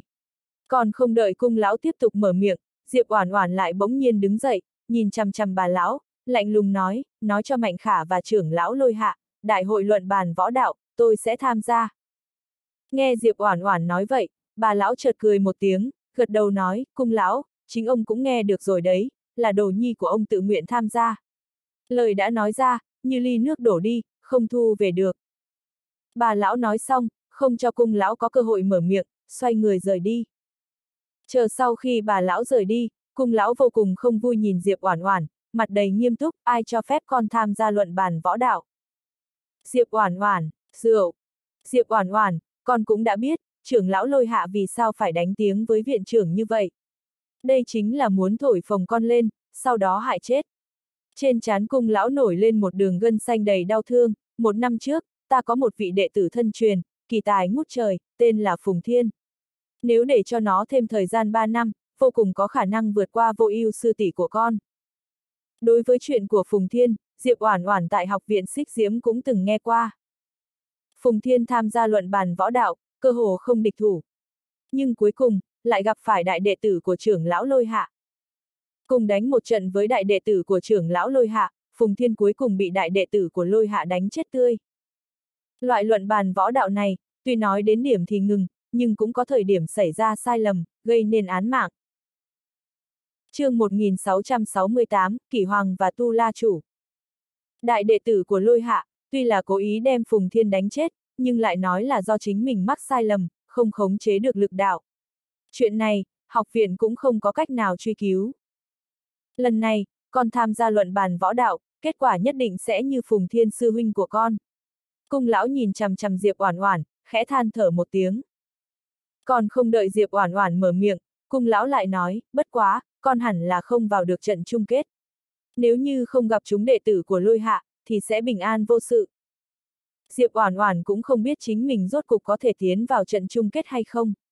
Nhưng mình còn chưa lên chiến trường, làm sao có thể chùn bước.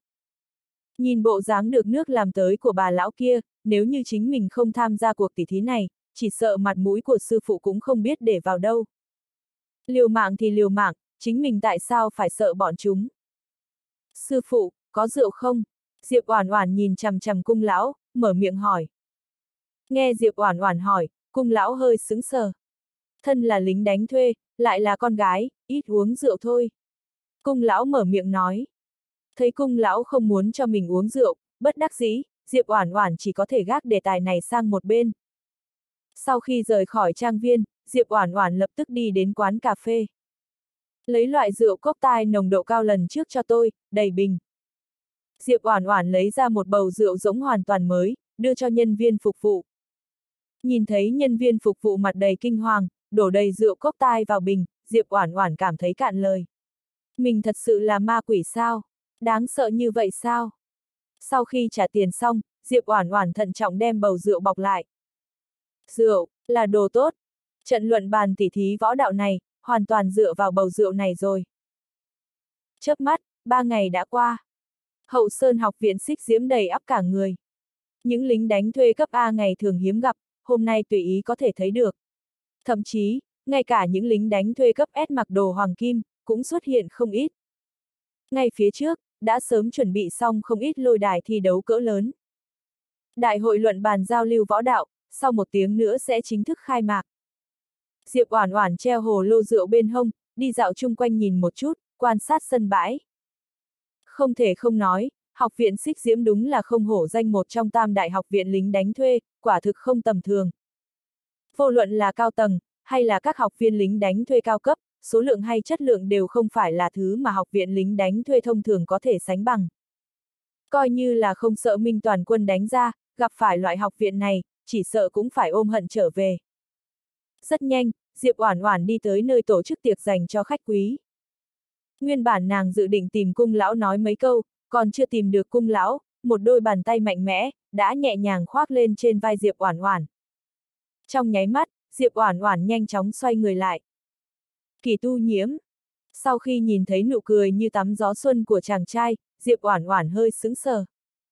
Người nam nhân mặc một thân bạch y trước mặt này, không phải là kỳ tu nhiễm, thì còn có thể là ai? Còn không đợi Diệp Oản Oản mở miệng nói chuyện, toàn thân bỗng phát rét một trận. Cơ hồ theo bản năng, nàng hướng về khu khách quý xa xa quan sát. Nam nhân mặc một thân Âu phục chính chuyên, phảng phất như trở thành đại biểu của đêm tối, vẻ lạnh giá trong ánh mắt hoàn toàn không mang một chút hơi ấm nào. Tu La chủ. Diệp Oản Oản mặt đầy mộng bức. Sao lại thế này? Kỳ Tu Nhiễm và Tu La chủ, làm sao lại đồng thời chạy tới nơi này? Giờ phút này, ánh mắt Tu La chủ rơi vào trên bàn tay Kỳ Tu Nhiễm đang khoác lên vai trái Diệp Oản Oản, băng tuyết bay đầy trời. Đối với Tu La chủ, Kỳ Tu Nhiễm tỏ vẻ không quan tâm. Anh nhìn chằm chằm Diệp Oản Oản, nhẹ giọng cười nói, Tiểu Phong, ở tại học viện xích diễm đã quen thuộc chưa?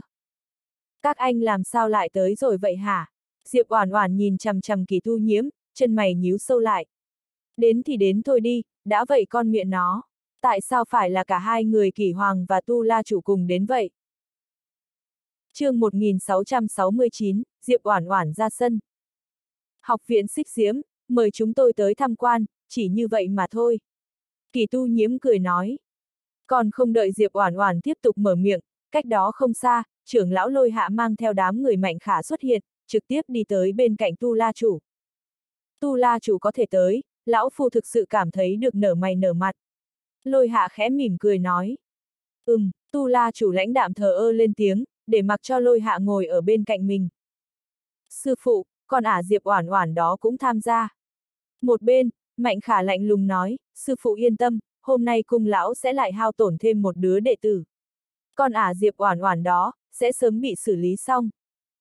Nghe tiếng, lôi hạ gật đầu một cái, chợt nhìn về phía tu la chủ, tu la chủ chê cười rồi, gã cung lão kia mới thu nhận một đệ tử mới, gọi là Diệp Oản Oản, nhiều lần mạo phạm tới đầu nhi của tôi. Chỉ sợ, đồ nhi tôi hôm nay sẽ không lưu tình. Nghe lôi hạ nói vậy, ánh mắt tu la chủ chuyển sang phía lôi hạ, nhìn chằm chằm một khắc không rời đi, đầy lãnh đạm băng giá, phải không? Tu la chủ nếu như có hứng thú, chỉ bằng cứ thư thả xem cuộc vui, như thế nào? Lôi hạ nói. Được, tu la chủ nói xong, chậm rãi thu hồi lại ánh mắt, thỉnh thoảng nhìn về phía Diệp Oản Oản và Kỳ Hoàng ở xa xa. Tu La chủ và Kỳ Hoàng đều có chút lợi ích lui tới cùng với học viện Xích Diễm. Mà hôm nay, cung lão mời Kỳ Hoàng tới tham quan, còn người mời Tu La chủ chính là Lôi Hạ. Bên cạnh Tu La chủ, Khương Viêm mặt đầy vẻ khó hiểu. Yêu nữ kia, làm sao lại thành học viên của học viện Xích Diễm rồi? Tuy là có nghi ngờ trong lòng, nhưng Khương Viêm cũng không nói thêm gì cả. Ngược lại còn có chút chờ mong, vị trưởng lão lôi hạ này, thực lực cực kỳ cường hãn, cũng khá nổi danh về việc bồi dưỡng đệ tử tại Độc Lập Châu. Nếu như ông ta có thể dạy dỗ, yêu nữ, thật tốt một trận, cũng coi như làm cho lòng người sảng khoái, giúp ông chủ nhà mình xả được nỗi tức giận đè nén trong lòng bấy lâu nay. Oản oản, nhớ lời sư phụ, hết thảy cần tự lượng sức mình, không nên quá háo thắng tranh đua. Nếu như quả thật đánh không lại, thì phải lập tức đầu hàng và rời khỏi khu vực thi đấu. Cung lão nhìn chằm chằm Diệp Oản Oản, dặn dò kỹ lưỡng. Sư phụ, con biết rồi. Diệp Oản Oản mở miệng nói. Sư muội, muội yên tâm, nhị sư huynh sẽ canh chừng cho. Ai dám hạ độc thủ khi dễ muội, chờ sau khi tỉ thí kết thúc, nhị sư huynh sẽ giúp muội đánh hắn bể đầu chảy máu. Bên cạnh cung lão, một vị tráng hán thân hình cao lớn mở miệng cười nói. Tráng hán này tên là Kiến Hổ, là nhị đệ tử của cung lão. Người này đô con lực lưỡng, khỏe như trâu, tại học viện xích diễm nổi danh là tàn nhẫn. Chẳng biết tại sao, sau khi kiến hổ nhìn thấy vị tiểu sư muội này, lại vô thức cảm thấy rất có hảo cảm, mặc dù tướng mạo có chút. Đa tạ nhị sư huynh, Diệp Oản Oản thấp giọng cười một tiếng. Đối với vị nhị sư huynh này, Diệp Oản Oản mặc dù không quen, nhưng lại luôn cảm thấy giống như đã từng quen biết. Diệp Oản Oản phỏng đoán, thời điểm khi mình vẫn còn là nhiếp vô ưu, cũng đã có cảm tình không tệ với cái vị gọi là kiến hổ này. Nếu không cũng sẽ không có khả năng cảm thấy quen thuộc và thân thiết đến như vậy. Các vị, tôi là trọng tài của đại hội giao lưu võ đạo lần này. Quy tắc vẫn như cũ, đến điểm là ngừng, dùng phương thức rút thăm để xác định người sẽ đối chiến. Một vị lão giả nào đó, đứng ở vị trí trung tâm của võ đài, mở miệng nói. Trọng tài vừa nói xong, từ trong một cái hộp kín, rút ra hai quả cầu nhỏ. Ở bên trên quả cầu, có ghi rõ một con số. Số 11 ra sân. Trọng tài vừa dứt tiếng, một vị lính đánh thuê cấp C, nhanh chóng đi lên đài thi đấu. Số 8 ra sân. Trọng tài lại nói. Ai là số 8? Thấy không có ai đáp lại, trọng tài hơi nhíu mày. Tôi, tôi là số 8. Bỗng nhiên, Diệp Oản Oản đáp lại một tiếng, sau đó liền vội vàng đi lên lôi đài. Vào giờ phút này, nhìn thấy Diệp Oản Oản mặc một bộ đồng phục màu xám ra sân, không ít cao tầng học viện và lính đánh thuê cấp cao cũng đều hơi nhíu mày. Một người lính đánh thuê cấp D, cũng dám chạy tới tham gia náo nhiệt. Tại loại đại hội giao lưu kiểu này, coi như là lính đánh thuê cấp C, cũng không có mấy ai dám tham gia. Thông thường mà nói, đều là học viên cấp B trở lên dự thi. chương 1670, xem như cô lợi hại. Đại hội luận bàn võ đạo của học viện Xích Diễm, thông thường mà nói, phần lớn đều là cấp B, hoặc phải từ cấp B trở lên mới tham gia. Tất nhiên, lính đánh thuê cấp D cũng không bị hạn chế, nhưng cơ hồ tất cả lính đánh thuê cấp D cũng sẽ không tự chuốc lấy nhục nhã. Trung quanh, lính đánh thuê đông đảo. Trong đó một số vị lính đánh thuê, sau khi nhìn thấy Diệp Oản Oản ra sân, đồng loạt mở to cặp mắt. Mấy ngày trước đây, Diệp Oản Oản một thân một mình hoàn thành hai nhiệm vụ cấp A, không ít học viên khác tận mắt nhìn thấy. Nhưng số lượng lính đánh thuê tại học viện xích diễm quá nhiều, phần lớn cũng không biết chuyện này, chỉ nhận định rằng một cô nàng học viên cấp D quá mức vô tri, dám can đảm tham gia loại tỷ thí luận bàn võ đạo này. Giờ phút này, khu khách quý, kỳ tu nhiễm ngồi ở bên cạnh cung lão, bất ngờ cùng mở miệng tán gẫu với ông.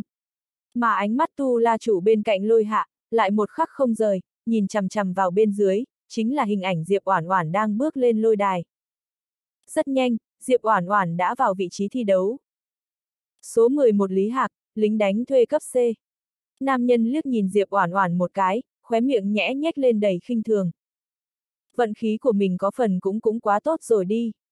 Toàn bộ học viện xích diễm, phỏng chừng cũng chỉ có một vị lính đánh thuê cấp D này tham gia đại hội giao lưu luận bàn năm nay. Vậy mà mình có thể gặp được, hí hí, vậy khác nào được tặng không điểm thưởng rồi. Số 8, Diệp Oản Oản, lính đánh thuê cấp D. Diệp Oản Oản đáp lại gã ta. Ha ha, một lính đánh thuê cấp D như cô, lại có thể có dũng khí tới tham gia đại hội giao lưu luận bàn lần này, can đảm lắm. Bất quá, cô yên tâm đi, tôi sẽ hạ thủ lưu tình. Nam nhân ha ha cười một tiếng, nói xong, bước tới một bước, trong nháy mắt chạy như bay về phía Diệp Oản Oản. Loại lính đánh thuê cấp C này, ở bên trong học viện xích diễm, dĩ nhiên là mạnh hơn so với lính đánh thuê cấp D. Nhưng về bản chất cũng không có gì khác nhau, dù sao cũng chỉ hơn kém nhau có một cấp bậc. Diệp Oản Oản hít sâu một hơi, trong phút chốc, đem tất cả tâm tư thu liễm lại. Hết thảy cảnh tượng trong cái thế giới này, ở trong mắt Diệp Oản Oản, toàn bộ phảng phất như chậm lại. Ngày trước, thời điểm tại Tư gia Hoa Quốc, Diệp Oản Oản đã có sẵn loại năng lực này. Khi đó Diệp Oản Oản còn cho rằng chính mình kỳ tài võ đạo. Tê duyên FAO, VN nhưng mà từ tình huống hiện tại mà xem, đây chính là năng lực của chính mình, nhiếp vô ưu, trước khi bị trải qua ký ức bao trùm. Theo người ngoài, Diệp Oản Oản cứ y như một bức tượng đứng ở một góc lôi đài. Nàng đứng lặng lặng, không có chút cử động nào. Trong khi đó số 11 Lý Hạc kia thì ngược lại, tốc độ cực nhanh, tấn công Diệp Oản Oản. Cô nàng lính đánh thuê cấp đề kia, không phải là bị dọa sợ rồi đấy chứ. Trong đám người, một vị lính đánh thuê thuận miệng nói một câu, bốn phía không ít người cười rộ ầm, um, một tiếng vang thật lớn truyền khắp toàn trường. Trong ánh mắt đầy quái dị của mọi người, lính đánh thuê số 11 Lý Hạc, còn chưa kịp hiểu đã xảy ra chuyện gì đã tạch. Hắn vừa tới bên người Diệp Oản Oản, đánh ra một quyền, vậy mà Diệp Oản Oản trước đó không nhúc nhích, đã trong nháy mắt bắt lấy cánh tay hắn, đầy thô bạo và nghiền ép đem hắn từ trên lôi đài ném ra ngoài. Số 11 Lý Hạc rơi xuống lôi đài, số 8 Diệp Oản Oản thắng. Cơ hồ trong nháy mắt, trọng tài đứng dậy, tuyên bố với mọi người kết quả. Tôi không phục. Lý Hạc xoa xoa cái mông, thần sắc cứ y như vừa mới ăn cứt xong, nhìn chằm chằm Diệp Oản Oản. Một nam tử hán béo tốt như mình, lại có thể bị một cô gái, lại còn chỉ là cấp D, ném thẳng xuống lôi đài. Mà mình nặng tới 85 đến 90 kg lận đó. Không lẽ bấy lâu nay vỗ béo cho thân hình này thực chỉ để, nuôi lấy phân thôi hay sao? Xem như cô lợi hại, lại có thể cố ý đứng yên bất động, làm cho tôi mất cảnh giác. Lý Hạc chỉ vào Diệp Oản Oản, vô cùng đau thương. Hu hu, lật thuyền trong mương cạn rồi. Cô ả lính đánh thuê cấp D đáng ghét này. À mà thôi, cũng do mình bất cẩn sơ suất trước mà. chương 1671, cho thể diện mà không cần. Đại hội luận bàn võ đạo lúc này vừa mới bắt đầu, chính mình lại có thể là người đầu tiên bị đánh bại, lại còn thảm bại như thế thật là sỉ nhục. Đa tạ, Diệp Oản Oản nhìn về phía gương mặt đầy tuyệt vọng của Lý Hạc, ôm quyền nói. Đa tạ cái em gái cô. Hừ, Lý Hạc hừ một tiếng. Diệp Oản Oản, một người đàn ông, lại có thể đanh đá như vậy sao? Sau khi cuộc tỉ thí này kết thúc, Diệp Oản Oản tạm thời nghỉ ngơi. Trọng tài tiếp tục rút số bắt cặp, trận tiếp theo là giữa một người lính đánh thuê cấp B đánh với cấp A. Lính đánh thuê cấp B mặt đầy tuyệt vọng, vốn là muốn thử vận khí một chút, có ai ngờ đâu, lại gặp ngay phải một vị lính đánh thuê cấp A chứ. Đúng như dự đoán, không tới mấy phút, lính đánh thuê cấp B đã bị đánh cho kêu cha gọi mẹ, hoàn toàn không phải là đối thủ của vị lính đánh thuê cấp A kia. Vào giờ phút này, Diệp Oản Oản hướng về phía trên võ đài quan sát. Độ lớn của lôi đài này, hoàn toàn thích hợp. Nếu mình không chủ động ra tay, hoàn toàn có thể đợi đối phương tấn công mới phản đòn. Hơn nữa, bởi vì lôi đài cũng lớn vừa phải, Diệp Oản Oản có thể vô cùng thuận lợi ném đối thủ ra khỏi khu vực thi đấu, từ đó thu được thắng lợi. Coi như gặp phải loại đối thủ có thực lực cực mạnh. Cùng lắm chủ động nhận thua là được rồi. Nếu quả thật không ổn, mình cũng còn có, hồ lô rượu yêu dấu, để phòng thân. Những thứ như rượu này, Diệp Oản Oản tận lực không muốn sử dụng. Tuy rằng sau khi nàng uống say, có thể nắm giữ được thực lực của nhiếp vô ưu, nhưng dù sao cũng thuộc về nhân tố không thể chủ động điều khiển. Ai biết được sau khi nàng uống say sẽ làm gì? Vạn nhất nhảy xuống lôi đài, hoặc đánh trọng tài thì biết làm sao bây giờ. Nếu điều đó xảy ra, nàng rất có thể sẽ trở thành trò hề lớn bị cả học viện xích diễm đàm tiếu. Đối với những trận tỉ thí của người khác, Diệp Oản Oản không mấy hứng thú. Những lính đánh thuê này, phần lớn không mạnh bằng Bắc đấu và Thất tinh.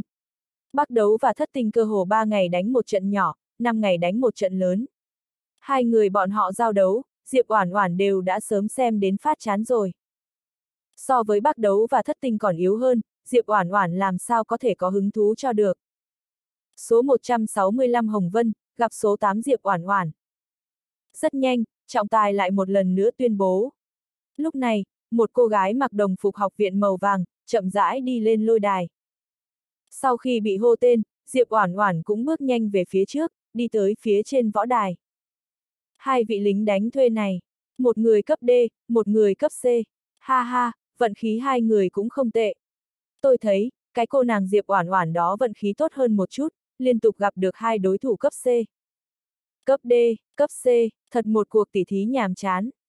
Nhìn thấy Diệp Oản Oản và Hồng Vân ra sân, phần lớn lính đánh thuê lắc đầu liên tục, hận không thể mang mền gối ra nằm ngủ quách cho xong. Trận đấu như thế này thì có gì đáng xem. Số 165 Hồng Vân, lính đánh thuê cấp C. Cô gái tên là Hồng Vân liếc nhìn Diệp Oản Oản một cái, mặt không đổi sắc báo danh. Số 8 Diệp Oản Oản, lính đánh thuê cấp D. Diệp Oản Oản đáp lại. Một lính đánh thuê cấp D như ngươi, ta cũng không muốn động thủ. Cho nên, ngươi muốn tự mình đi xuống, hay là muốn ta giúp ném ngươi xuống dưới? Hồng Vân nhìn chằm chằm Diệp Oản Oản, lạnh giọng nói, đầy kiêu ngạo. Ra tay đi, Diệp Oản Oản nhìn về phía cô ta. Nghe nói vậy, chân mày cô gái hơi hơi nhíu lại, Diệp Oản Oản, người thật đúng là cấp cho thể diện mà không cần. Một lính đánh thuê cấp D, ăn rùa thắng được một trận, lại còn tưởng mình ngon, có thể thắng liên tiếp hai trận cơ đấy.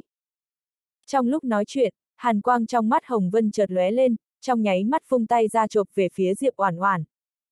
Nhưng mà, nữ nhân mới vừa tung tay, cơ hồ chỉ trong chốc lát, Diệp Oản Oản lập tức bắt được cẳng tay của Hồng Vân. Lúc này, sắc mặt Hồng Vân khẽ biến, còn chưa kịp hiểu chuyện gì xảy ra, đã thấy một luồng sức mạnh huyền bí từ trong tay Diệp Oản Oản truyền đến. Một giây kế tiếp, thân thể của Hồng Vân mất đi thăng bằng, cả người thật giống như một chiếc diều đứt dây bị hất bay ra bên ngoài. chương 1672, truyền kỳ đến. ầm, um, một tiếng vang thật lớn, Hồng Vân té xuống ngoài khu vực thi đấu, nặng nề rơi xuống đất. Đa tạ. Diệp Oản Oản liếc nhìn Hồng Vân một cái, chợt thu hồi lại ánh mắt, cũng không có hứng thú tiếp tục để ý đến cô ta. Ngươi! Hồng Vân nhìn về phía Diệp Oản Oản trên lôi đài thần sắc lãnh đạm, hận tới cắn răng nghiến lợi. Chỉ là một tên lính đánh thuê cấp D. Ha ha ha, thật sảng khoái. Cách đó không xa, Lý Tân vỗ tay khen hay, lính đánh thuê cấp C chó má, dám xem thường lính đánh thuê cấp D chúng ta, ta nhổ vào. Bên cạnh Lý Tân, đám lính đánh thuê cấp D ở cùng phòng ký túc xá tập thể với Diệp Oản Oản, cũng rối rít gật đầu phụ họa. Sau khi Oản Oản lão đại hoàn thành hai nhiệm vụ cấp A, với số điểm cống hiến lính đánh thuê vinh dự nhận được, hẳn là có thể lên đến cấp B rồi chứ. Khẳng định là như vậy, ít nhất cũng phải xếp vào hàng đầu của cấp B, thậm chí là cấp A. Phỏng chừng là Oản tỷ không biết rõ làm sao để thăng cấp, cũng không biết là điểm cống hiến lính đánh thuê vinh dự dùng để làm gì. Không hổ là Oản tỷ của ta, chị ruột của ta đấy. Thật tự do phóng khoáng. Lý Tân gật đầu nói. Nghe tiếng, mấy vị lính đánh thuê cấp D liếc xéo lườm Lý Tân một cái. Đã từng gặp qua người không biết xấu hổ, nhưng chưa từng thấy ai không biết xấu hổ như vậy. Lại còn nhận vơ, chị ruột, nữa cơ đấy. Rất nhanh đã tới buổi trưa, sau mấy chục trận tỉ thí tiếp đó, đại hội giao lưu võ đạo được tạm ngừng. Diệp Oản Oản cho tới chưa chỉ bị gọi chúng hai lần, là hai trận toàn thắng. Cung lão nhìn về phía Diệp Oản Oản, nói tiếp sau đó, vận khí của con sẽ không còn được tốt như vậy đâu. Toàn bộ lính đánh thuê cấp C đã bị đánh bại, trong danh sách bốc thăm còn lại, chỉ còn một mình con là lính đánh thuê cấp D, tất cả số còn lại đều là cấp B trở lên. Ý cung lão muốn nói, là khuyên Diệp Oản Oản biến tiến biết lùi, không nên cậy mạnh. Sư phụ, đã hiểu. Diệp Oản Oản gật đầu. Đùa gì thế, mình còn có tuyệt học mà cung lão truyền thụ cho vẫn còn chưa xuất ra đâu đấy. Đạo lý tiến lùi này nàng đã sớm thông hiểu, có được hay không? Đối phó với đám lính đánh thuê cấp B đơn lẻ từng người một, còn không phải là chuyện dễ dàng hay sao? Nếu như là cung lão biết được, vị đồ nhi trước mặt mình này, đã sớm học thành tuyệt học mà ông truyền thụ cho, không biết sẽ có cảm tưởng như thế nào. Mau nhìn! Lúc này, không biết là ai kêu lên một tiếng. Mọi người lập tức hướng về phía trước nhìn lại. Chỉ thấy, một vị nữ nhân thần thái lạnh nhạt, cùng với trưởng lão lôi hạ sóng vai, chậm rãi đi về khu khách quý. Con bà nó, tôi có hoa mắt không? Cô gái kia, là nhiếp, nhiếp linh lung. Mẹ kiếp, truyền kỳ của học viện xích diễm, nắm giữ những kỷ lục không thể phá vỡ, nhiếp linh lung, nhiếp sư tỷ. Không nghĩ tới, ngay cả nhiếp linh lung sư tỷ cũng đến rồi. Đùa à, nhiếp linh lung sư tỷ dù thế nào cũng từng là đệ tử của trưởng lão lôi hạ, lại là học viên của học viện xích diễm. Dịp tỷ thí long trọng như thế này, đương nhiên là phải tới góp mặt rồi. Nhớ năm đó, thời điểm nhiếp linh lung tham gia đại hội tỷ thí võ đạo, thắng liền 28 trận liên tiếp, không một lần thất bại.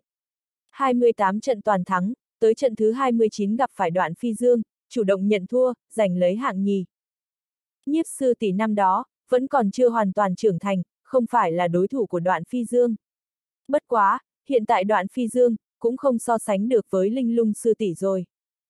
Nhìn thấy nhiếp linh lung xuất hiện, mọi người thần sắc hưng phấn, nhìn cô ta với một vẻ sùng bái tột độ. Chỉ có cung lão, thần sắc lạnh giá, cũng không thèm liếc mắt nhìn lấy một lần.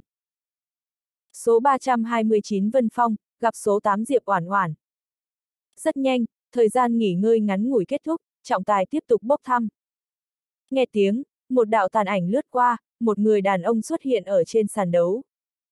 Diệp Oản Oản cũng nhanh chân bước ra trận. Vân Phong, lính đánh thuê cấp A. Nam nhân hướng về Diệp Oản Oản nói. Diệp Oản Oản, lính đánh thuê cấp D. Diệp Oản Oản đáp lại. Vận khí của mình cũng có phần quá kém, còn chưa gặp được một tên lính đánh thuê cấp B nào, liền trực tiếp gặp chúng cấp A rồi. chương 1673, oan ra ngõ hẹp. Ha ha, vị lính đánh thuê cấp D đó, dùng hết vận khí tốt rồi. Gặp phải vân phong cấp A, chật chật, vận khí này. Phía dưới lôi đài, không ít lính đánh thuê đồng thanh cười to. Bù! Không thẹn là lính đánh thuê cấp A, không có một câu nói nhảm, trong nháy mắt hướng về Diệp Oản Oản ra tay. Gần như trong nháy mắt, Diệp Oản Oản tiến vào trạng thái vong ngã, thân thủ nhanh như chớp của Vân Phong, ở trong mắt của Diệp Oản Oản, lại chậm đi rất nhiều. Bạch, cơ hồ trong nháy mắt, Diệp Oản Oản đem lực đạo toàn thân ngưng tụ vào trong lòng bàn tay, tay nàng nâng lên, tung một chưởng đánh về phía Vân Phong. Đại bi trưởng của cung lão. Cảm nhận được lực đạo một trường này của Diệp Oản Oản, thân là lính đánh thuê cấp A, thần sắc Vân Phong cũng không khỏi chấn động. Đại bi trưởng chính là tuyệt học độc nhất vô nhị do cung lão sáng tạo, chưa bao giờ truyền cho người ngoài. Ầm, um, một tiếng vang thật lớn, hai trưởng đập vào nhau. Một giây kế tiếp, chân mày Vân Phong nhíu chặt lại, thân hình lảo đảo, bị đánh lùi về sau mấy bước. Vào giờ phút này, toàn trường trên dưới, thần sắc rung động. Nhất là một số nhân vật cao tầng ngồi ở khu khách quý quan chiến, không khỏi nhìn kỹ Diệp Oản Oản hơn một chút. Một số lính đánh thuê vừa cho rằng Diệp Oản Oản đã dùng hết vận may, nụ cười khựng lại ở trên mặt, sượng sùng. Lính đánh thuê cấp A Vân Phong, bị vị lính đánh thuê cấp D đó dùng một trưởng đánh lui. Thấy vậy, bên cạnh trưởng lão lôi hạ, khóe miệng mạnh khả khẽ chề ra, khó trách cô ta có dũng khí tham gia, thì ra là có đại bi trưởng của cung lão. Cũng khó trách cung lão lại thu nhận một vị lính đánh thuê cấp D. Chỉ sợ cung lão đã sớm quen biết cô ta, ít nhất từ mấy năm trước đã đem đại bi trưởng dạy cho cô ta. Bất quá, như vậy cũng tốt, nếu như là Diệp Oản Oản thua, nàng làm sao có thể giết được ả à ta ở tại buổi giao lưu võ đạo này. Nhiếp linh lung từ đầu đến cuối vẫn luôn nhắm mắt, tựa như đối với những trận tỉ thí bên dưới, không nhắc lên được bất kỳ một chút hứng thú nào. Cái gì? Một chỗ khác trong khu khách quý, cung lão đột nhiên đứng dậy, khó tin nhìn lấy Diệp Oản Oản. Sư phụ, đại bi trưởng của ngài, lúc này mới hai ngày, nhị sư huynh kiến hổ kinh ngạc lên tiếng. Nghe tiếng, kỳ tu nhiễm khẽ mỉm cười, cũng không nhiều lời. Xem ra, đưa Diệp Oản Oản đi tới học viện xích diễm, cũng không sai. Hy vọng ký ức của nhiếp vô ưu sẽ dần dần được khôi phục, thức tỉnh. Làm sao có thể, cung lão nhìn chằm chằm Diệp Oản Oản, hoàn toàn không hiểu được. Vẻn vẹn hai ngày, Diệp Oản Oản đã nắm bắt được đại bi trưởng của ông, từ hình thức đến thần thái. Mà thời gian ban đầu cung lão đề ra cho Diệp Oản Oản là 3 năm. Coi như là nhiếp vô ưu năm đó, cũng dùng suốt cả một năm, mới hoàn toàn học được đại bi trưởng. Nhiếp vô ưu dùng một năm, vị đồ nhi Diệp Oản Oản này của ông. Dùng hai ngày. Cung lão có chút đờ đẫn. Chấm chấm chấm. ầm, um. Lại là một tiếng vang thật lớn, trên lôi đài, trên trán Vân Phong thấm ra mồ hôi lạnh. Đại bi trưởng vừa công vừa thủ, chính mình căn bản là không có cách tiếp cận. Cuối cùng, Vân Phong cắn răng, hắn căn bản là không có cách nào phá giải đại bi trưởng, chỉ có thể ôm quyền nói, Diệp sư muội thật lợi hại, tôi nhận thua. Vân Phong dứt tiếng, toàn trường xôn xao. Một vị lính đánh thuê cấp A, lại có thể hướng về phía lính đánh thuê cấp D. Nhận thua. Sau khi trọng tài tuyên bố kết quả, còn không đợi Diệp Oản Oản nghỉ ngơi, trọng tài lại rút chúng Diệp Oản Oản, mà đối thủ là một vị lính đánh thuê cấp B. Con bà nó. Lính đánh thuê cấp B nhìn Diệp Oản Oản, mặt đầy lúng túng, xui xẻo như vậy. Vân Phong đều đã nhận thua, tôi biết đánh như thế nào. Còn không đợi Diệp Oản Oản mở miệng, lính đánh thuê cấp B lắc đầu liên tục, cô châu bỏ rồi, tôi nhận thua. Lính đánh thuê cấp B nói xong, cũng không quay đầu lại rời khỏi lôi đài. Số 4 Kiến Hổ, gặp số 10 Mạnh Thiên. Kiến Hổ, nhị đệ tử của cung lão. Mạnh Thiên, nhị đệ tử của trưởng lão lôi hạ. chương 1674, 27 trận toàn thắng. Trọng tài báo ra danh hiệu của nhị sư huynh và nhị đệ tử Mạnh Thiên của lôi hạ. Kiến Hổ, cẩn thận một chút, cung lão nhắc nhở. Sư phụ, ngài yên tâm đi.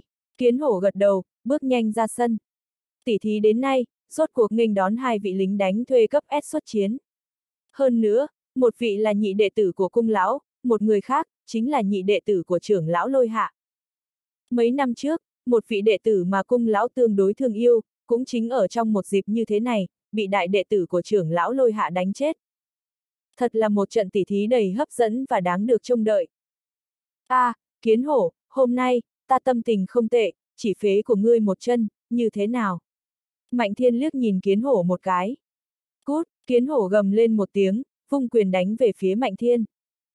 Nhưng mà, mạnh thiên tốc độ cực nhanh, một quyền của nhị sư huynh kiến hổ không thể đánh trúng mục tiêu. Kiến hổ có sức lực mạnh vô cùng, bất kỳ một vị lính đánh thuê cấp S nào, nếu như bị đánh trúng một quyền của kiến hổ, tất nhiên sẽ trọng thương. Coi như là mạnh thiên cũng không ngoại lệ. Chỉ bất quá, cái tên mạnh thiên này lại hết sức thông minh, không cho kiến hổ tiếp cận, ngược lại còn kéo giãn khoảng cách, điên cuồng tiêu hao thể lực của kiến hổ. Khu khách quý, chân mày Diệp Oản Oản nhíu sâu lại. Nhị sư huynh kiến hổ, tính cách thẳng thắn, không chịu nổi khiêu khích, hiển nhiên đã bị Mạnh Thiên nắm mũi dẫn đi. Trước kia cũng từng nghe cung lão nói, sở dĩ nhị sư huynh kiến hổ vẫn còn chưa tốt nghiệp, cũng là bởi vì tính cách kiến hổ có thiếu sót, dễ dàng nổi nóng, cho nên mãi vẫn không qua được khảo hạch tốt nghiệp của xích diễm học viện. Bây giờ nhìn một lượt, quả là như thế. Nếu không, cái tên Mạnh Thiên kia chưa chắc sẽ là đối thủ của Kiến Hổ. Kiến Hổ và Mạnh Thiên đánh một trận, ước chừng mấy chục hiệp. Thể lực Mạnh Thiên cơ hồ không bị tiêu hao bao nhiêu, mà Kiến Hổ thì lại thở hồng hộc, thể lực giảm sút quá nhiều.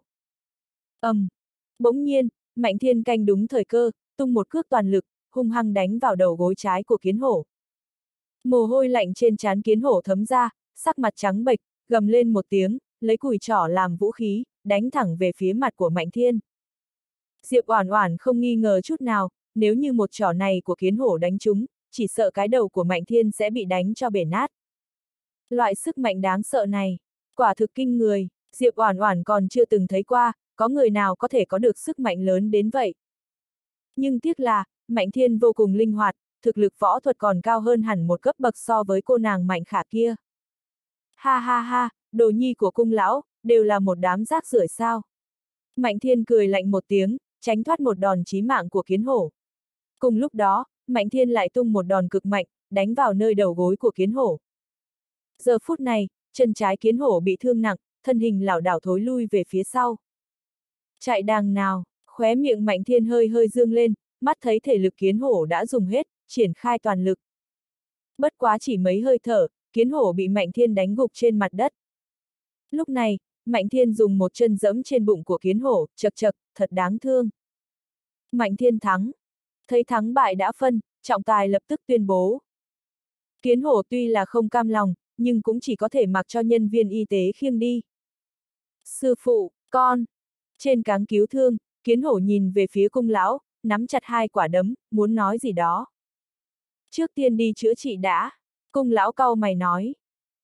Đệ tử của cung lão, so với đệ tử của trưởng lão lôi hạ, vẫn có không ít tranh lệch. Những năm gần đây, trưởng lão lôi hạ vẫn luôn đè trên đầu cung lão, không cách nào hiểu được. Không ít cao tầng và lính đánh thuê gì dầm bàn tán. Rất nhanh, lại lần nữa đến phiên Diệp Oản Oản ra sân. Suốt một ngày, Diệp Oản Oản liên tục chiến 27 trận, 27 trận toàn thắng, thuận lợi tiến vào trận chung kết.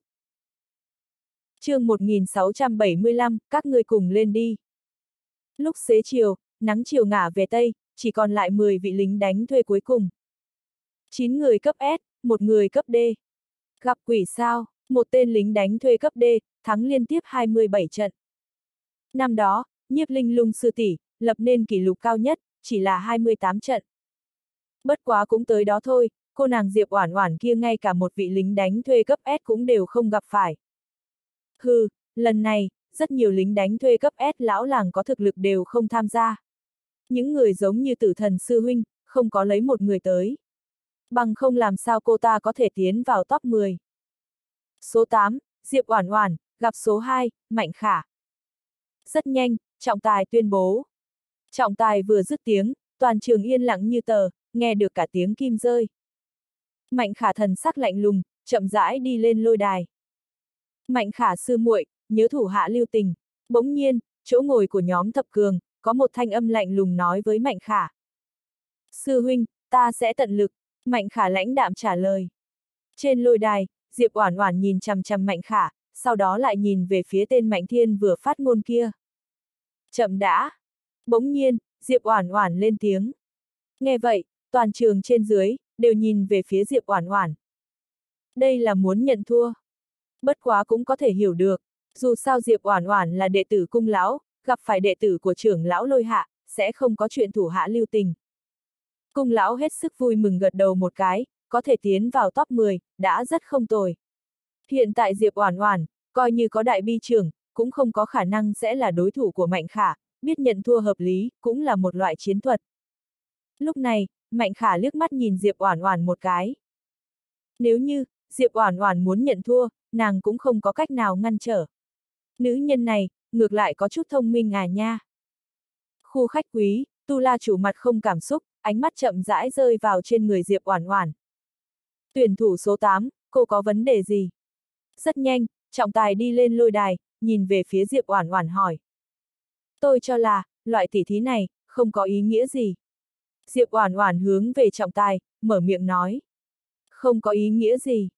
Diệp Oản Oản dứt tiếng, toàn trường mặt đầy vẻ ngơ ngác. Không có ý nghĩa gì là có ý gì. Muốn đầu hàng, đoán chừng là trong lòng có chút không cam lòng. Trước khi đầu hàng, trước tiên phải trổ tài miệng lưỡi một phen. Chuyện này cũng không có cách nào, bất quá vị sư muội này cũng rất mạnh đấy. Từ trước tới nay, cô ấy chính là vị lính đánh thuê cấp D đầu tiên của học viện xích diễm tiến vào thập cường của Đại hội giao lưu võ đạo. Đầu hàng là sáng suốt, tránh phải đối đầu với loại lính đánh thuê cấp S như Mạnh Khả, lại còn là đệ tử của trưởng lão lôi hạ. Oan ra ngõ hẹp, cô nàng Diệp Oản Oản này, tôi nghe nói là đệ tử ký danh của cung lão. Trên lôi đài, trọng tài cao mày, nói cô muốn như thế nào? Trừ mạnh khả ra, con người Diệp Oản Oản nhìn về phía khu chỗ ngồi của thập cường, cánh tay phải hơi hơi nâng lên, dùng ngón tay trỏ chỉ vào Mạnh Thiên, tôi còn muốn khiêu chiến hắn ta. Cái gì? Trọng tài mặt đầy kinh ngạc, trừ Mạnh Khả ra, còn muốn khiêu chiến Mạnh Thiên. Ý của cô là, trận chiến giữa mình với Mạnh Khả tất thắng. Sau khi thắng Mạnh Khả, sẽ cùng tỉ thí với Mạnh Thiên. Trọng tài có chút không chắc chắn, hỏi lại. Ý của tôi là, Diệp Oản Oản lắc đầu một cái, để cho Mạnh Khả và Mạnh Thiên cùng tiến lên. Lời của Diệp Oản Oản vừa phát ra khỏi miệng, toàn trường trên dưới là một mảnh xôn xao. Chớ nói chi người bên cạnh, chính cung lão ngồi ở khu khách quý, cũng theo đó kinh ngạc. Người đồ đệ này của ông, điên rồi phải không? Con bà nó, cô nàng Diệp Oản Oản này lấy tự tin ở đâu ra? Điên rồi sao? Đồng thời khiêu chiến Mạnh Khả và Mạnh Thiên, hai vị lính đánh thuê cấp S. Cũng chính là có ý tứ lấy một chấp hai. Đùa gì thế, thực lực của Mạnh Thiên, so với Mạnh Khả còn cao hơn một cấp bậc có được không? Cô ta muốn một mình đánh với hai người sao? chương 1676, tùy thời quấy nhiễu cuộc tỉ thí. Hậu Sơn, toàn trường đồng loạt nhìn về phía Diệp Oản Oản trên lôi đài, thần sắc kinh ngạc, thậm chí có chút khó hiểu. Không thể không nói, Diệp Oản Oản thân là một người lính đánh thuê cấp D, tham gia lần đại hội luận bàn võ đạo này, hơn nữa có thể tiếp tục trụ được đến lúc này, thắng liên tiếp 27 trận đã là không tưởng tượng nổi. Thậm chí rất nhiều lính đánh thuê cấp A, cũng thua ở dưới trưởng của Diệp Oản Oản, gần như là kỳ tích. Mà thực lực của Diệp Oản Oản, theo người ngoài, mới đạt đến trình độ lính đánh thuê cấp A trung đẳng mà thôi, nếu như gặp phải những vị lính đánh thuê cấp A hàng đầu, dường như cơ hội chiến thắng là rất nhỏ. Diệp Oản Oản sau khi gặp phải đệ tử mạnh khả của trưởng lão Lôi Hạ, lựa chọn sáng suốt nhất nên làm là lập tức nhận thua. Cho dù có nhận thua, cũng không có ai lại cho rằng làm vậy là không ổn. Nhưng Diệp Oản Oản lại cực kỳ không có lý trí còn muốn tiến hành tỷ đấu. Thậm chí, còn làm ra hành vi khiến cho tất cả mọi người không cách nào hiểu được. Trừ Mạnh Khả ra, nàng còn muốn khiêu chiến với nhị đệ tử của trưởng lão Lôi Hạ Mạnh Thiên. Thêm vào đó, còn muốn lấy một trọi hai. Chuyện này trong lịch sử của Đại hội giao lưu võ đạo xích diễm chưa bao giờ phát sinh qua. Giờ phút này, khu khách quý, chân mày cung lão nhíu sâu lại. Cung lão không cách nào hiểu được Diệp Oản Oản đang muốn làm gì. Chẳng lẽ, nàng muốn báo thù thay cho nhị sư huynh kiến hổ sao? Nhưng cho dù có muốn báo thù, cũng phải lượng sức mà làm. Nếu như đã biết rõ không thể làm rồi mà còn cố, vậy chẳng phải là ngu xuẩn sao? Hơn nữa, Mạnh Khả đối với Diệp Oản Oản tràn đầy địch ý, chắc chắn sẽ không thủ hạ lưu tình. Oản Oản, không thể nghịch ngợm được. Bỗng nhiên, cung lão đứng dậy, hướng về trên lôi đài, quát với Diệp Oản Oản một tiếng. Cho dù là bị mất mặt, cung lão cũng không hy vọng nhìn thấy đệ tử của mình có bất kỳ bất chắc nào ở trên lôi đài. Kỷ Hoàng như có điều suy nghĩ, nhìn chằm chằm Diệp Oản Oản. Với thực lực của Diệp Oản Oản mà nói, gặp chiêu phá chiêu là điểm mạnh của nàng. Gặp phải lính đánh thuê cấp A phổ thông, có thể sử dụng đại bi trưởng khéo léo thủ thắng. Nhưng, đụng phải những tên lính đánh thuê cấp S kia, còn muốn lấy một trọi hai thì. Dựa theo lý giải của Kỳ Hoàng đối với Diệp Oản Oản, Diệp Oản Oản cũng không phải là người lỗ mãng. Một khi không nắm chắc, sẽ không làm ra những chuyện như vậy. Cách đó không xa, Tu La chủ nhìn Khương Viêm một cái. Khương Viêm hiểu ý, đi tới bên cạnh Tu La chủ. Lúc này, Tu La chủ thấp giọng nói gì đó với Khương Viêm. Cái gì? Nghe tiếng, Khương Viêm thần sắc kinh ngạc, thậm chí là khó hiểu. Ông chủ nhà mình lại có thể yêu cầu mình tùy thời chuẩn bị quấy nhiễu cuộc tỷ thí này. Đây là có ý gì? Chỉ bất quá, nếu ông chủ nhà mình đã lên tiếng, Khương Viêm cũng không tiện nói thêm cái gì, chỉ có thể gật đầu lĩnh mệnh. Thẳng đến giờ phút này, nhiếp linh lung một mực nhắm mắt dưỡng thần, lúc này mới chậm rãi mở hai mắt ra, lạnh nhạt quan sát Diệp Oản Oản trên lôi đài. Trên lôi đài, Diệp Oản Oản cũng không để ý tới khuyến cáo của cung lão, ánh mắt lạnh nhạt rơi vào trên người Mạnh Thiên đang ngồi ở dãy ghế của thập cường. Ha ha ha ha, Mạnh Thiên cứ như vừa nghe được chuyện Tiếu Lâm tức cười nhất, ngươi không có tư cách khiêu chiến ta. Nhưng mà, Diệp Oản Oản lại nhìn về phía trọng tài, vị trí thập cường, vốn là để cho người khác khiêu chiến. Trọng tài, Mạnh Thiên có thể cự tuyệt tỷ thí sao? Nghe tiếng, trọng tài yên lặng chốc lát, chợt lắc đầu một cái, nói, dựa theo quy tắc tỷ thí, Mạnh Thiên không có quyền cự tuyệt. Nhưng tuyển thủ số 8 Diệp Oản Oản, tôi cần phải nhắc nhở cô, bài danh của Mạnh Thiên ở trong thập cường là thứ 5, Mạnh Khả xếp thứ 8, cô đứng thứ 10. Nếu như cô lập tức đồng thời khiêu chiến Mạnh Khả và Mạnh Thiên, hơn nữa còn thắng được, cô tối đa cũng chỉ có thể thay thế được Mạnh Thiên, trở thành người đứng thứ 5. Vậy là đủ rồi, Diệp Oản Oản khẽ vuốt cằm, đối với thứ hạng gì gì đó, nàng cũng không mấy coi trọng. chương 1677, không thể địch lại được. Chẳng qua là, nếu như mình thật phải uống rượu, chỉ để đánh với Mạnh Khả một trận, dường như quá mức lãng phí một chút, còn không bằng tận diệt. Được, trọng tài gật đầu, chợt nhìn về phía Mạnh Thiên ở vị trí thập cường, mở miệng nói, Mạnh Thiên, theo quy tắc khiêu chiến, cậu không có cách nào cự tuyệt tuyển thủ số 8. Ha ha, có ý tứ, lúc này, khóe miệng Mạnh Thiên hơi hơi dương lên, treo lên một nụ cười băng giá lạnh thấu xương. Một giây kế tiếp, Mạnh Thiên từ vị trí thập cường, trong nháy mắt đứng dậy, bước nhanh lên võ đài. Tôi cần phải nhắc nhở các vị, chỉ là tỉ thí giao lưu, đến điểm thì ngừng. Nếu như có bất kỳ hành vi gây rối nào, tự gánh lấy hậu quả. Sau khi trọng tài nói xong, liền lập tức rời khỏi phạm vi thi đấu của lôi đài. Vào giờ phút này, trên lôi đài lớn như vậy, tổng cộng có ba người đứng yên. Mạnh khả sư muội, không bằng tôi chỉ cần ở bên cạnh quan chiến, như thế nào? Mạnh thiên ý cười đầy mặt nói với mạnh khả. Chính là ý đó, mạnh thiên sư huynh không cần phải ra tay, để tôi xử lý là được rồi. Mạnh khả nói xong, mặt đầy lạnh lùng, nhanh chân lao về phía Diệp Oản Oản. Lúc này, tay phải Diệp Oản Oản khẽ đặt ở trên hồ lô rượu bên hông. Nhưng mà sau một hồi suy tư, Diệp Oản Oản chỉ mở hờ nắp của hồ lô rượu. Thật ra không cần cuống cuồng uống rượu như vậy, trước tiên thử một chút, xem sự chênh lệch giữa mình và lính đánh thuê cấp S sẽ lớn đến mức nào. Vù. Trong chốc lát, Mạnh Khả đánh ra một trường đầy âm nhu và tàn nhẫn. Một trường này có lực đạo cực lớn, lính đánh thuê phổ thông, nếu như bị đánh trúng, chỉ sợ không chết cũng phải trọng thương. Thật là nhanh. Thần sắc Diệp Oản Oản hơi có vẻ kinh ngạc, cô nàng Mạnh Khả này không hổ là lính đánh thuê cấp S. Vô luận là lực đạo hay là tốc độ, đều gần như hoàn mỹ. Nhưng mà, một giây kế tiếp, Diệp Oản Oản đứng ở trên lôi đài cũng không có bất kỳ động tác gì.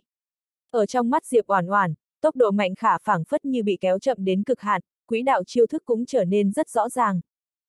Ghế khách quý, ánh mắt lạnh như băng của Tu La chủ từ đầu đến cuối chưa từng rời đi. Một cái chớp mắt khi mạnh khả ra chiêu, Tu La chủ đã ung dung thản nhiên đứng dậy, phảng phất như bất cứ lúc nào cũng sẽ ngăn cản cuộc tỷ thí này tiếp diễn.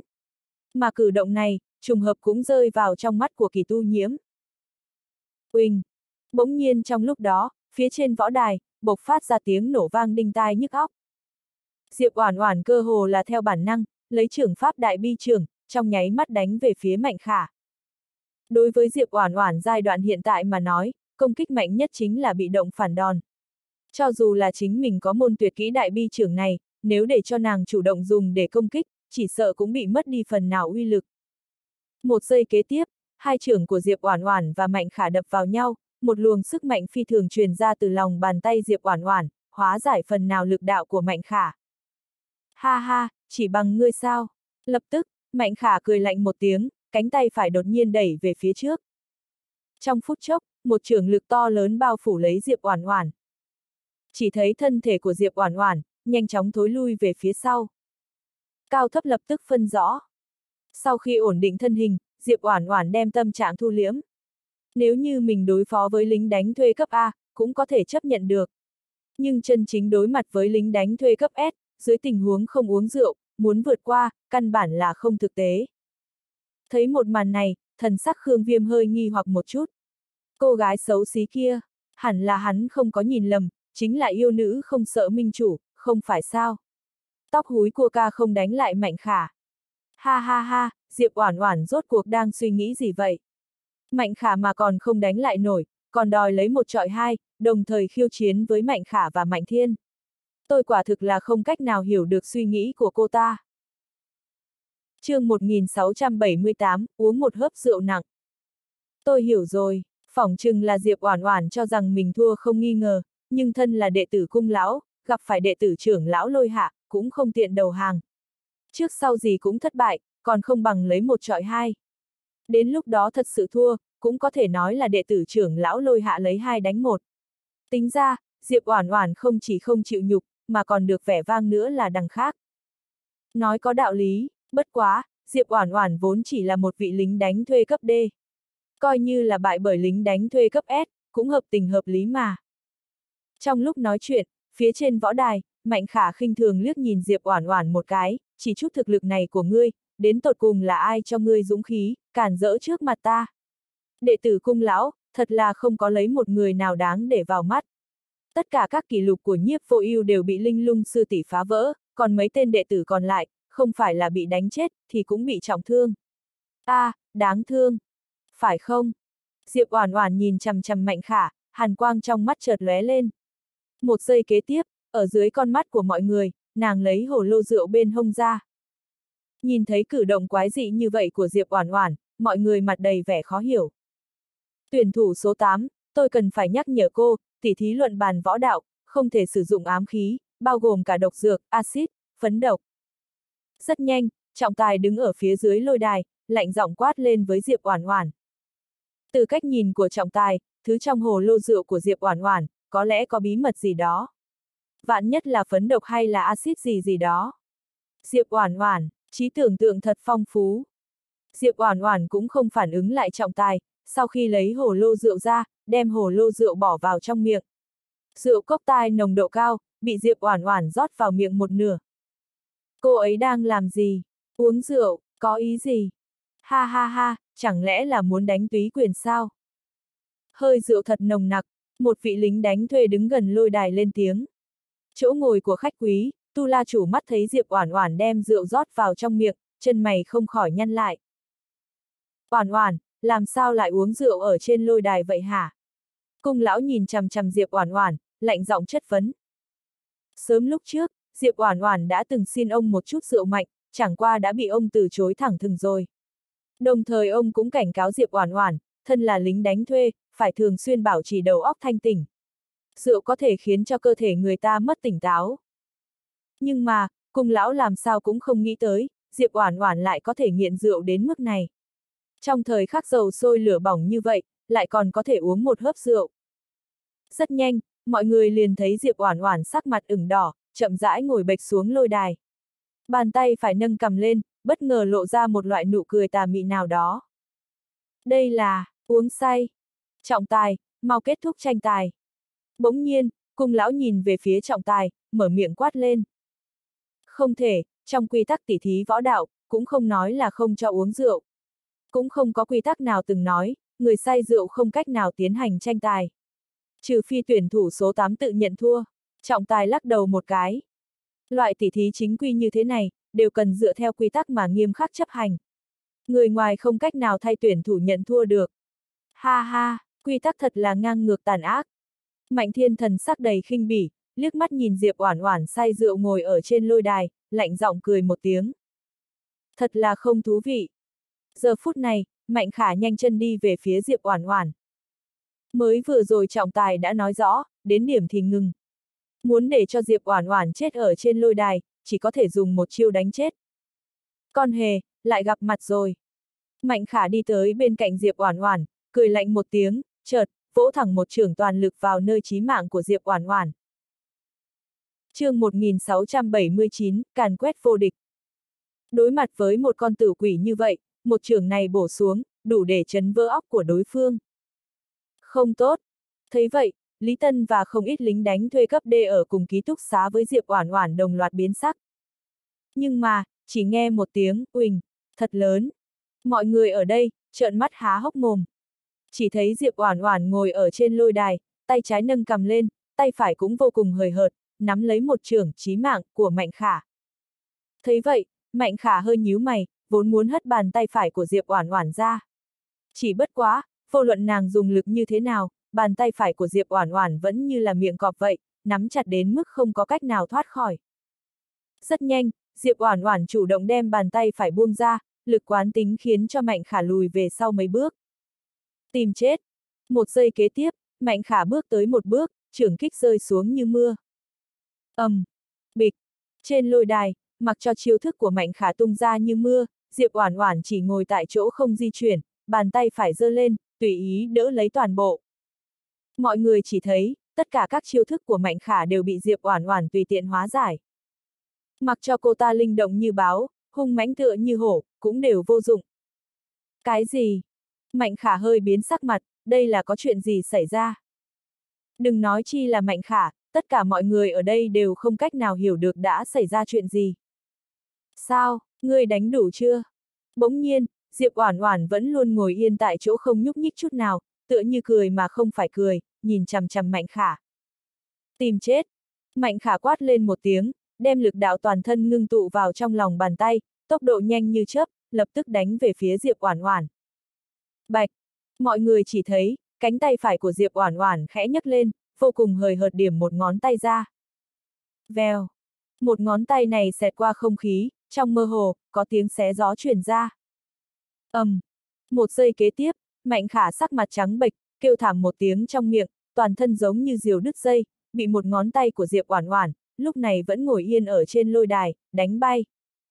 Lập tức, Mạnh Thiên cách đó không xa, tay mắt lanh lẹ, trong nháy mắt tiến lên một bước, một tay đỡ lấy Mạnh Khả. Vào giờ phút này, tất cả âm thanh ồn ào náo động dưới đài, toàn bộ đều im bặt. Yên tĩnh như chết, không một tiếng động. Diệp Oản Oản chỉ dùng một ngón tay, đánh bay đồ đệ mạnh khả của trưởng lão lôi hạ. Túy, túy quyền. Không biết người nào đó kêu lên một tiếng. Con bà nó, túy quyền là quyền gì? Thật chẳng lẽ là túy quyền? Làm sao có thể? Toàn trường gì dầm xôn xao. Khu khách quý, cung lão trong nháy mắt đứng dậy, khó tin nhìn chằm chằm Diệp Oản Oản. Hai ngày học được đại bi trưởng của mình, chỉ một ngón tay đã đánh bay mạnh khả. Hai người các ngươi, trên lôi đài, Diệp Oản Oản vẫn ngồi trên mặt đất, nhưng lại hướng về Mạnh Khả và Mạnh Thiên ngoắc ngoắc ngón giữa cùng lên đi. A, à, ngươi thật đúng là vội chạy đi đầu thai nha.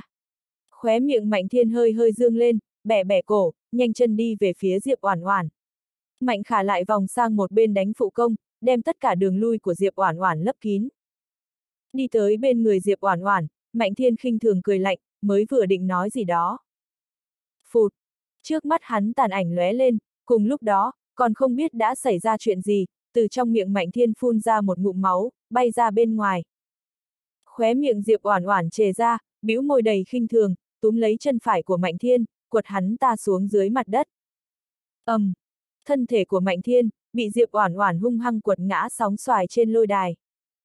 A! À, từ trong miệng Mạnh Thiên phát ra tiếng kêu gào như heo bị cắt tiết. Trong ánh mắt sững sờ của mọi người, Diệp Oản Oản tung một cước dẫm ở trên cánh tay trái của Mạnh Thiên, tiếng xương nát vụn trong nháy mắt vang lên. Chương 1680, nằm yên, đừng nhúc nhích. Cùng với tiếng xương nát, còn có tiếng hét thảm trong miệng Mạnh Thiên. Ta muốn lấy mạng ngươi. Thấy vậy, ở sau lưng Diệp Oản Oản, Mạnh Khả gầm lên một tiếng, tung một sát chiêu đánh lén phía sau nàng. A! À, giờ phút này, khóe miệng Diệp Oản Oản khẽ nhếch lên, đối với Mạnh Khả ở sau lưng, cũng không thèm nhìn bằng nửa con mắt. Đối với Diệp Oản Oản mà nói, dường như ngay cả hứng thú xoay người lại cũng không có.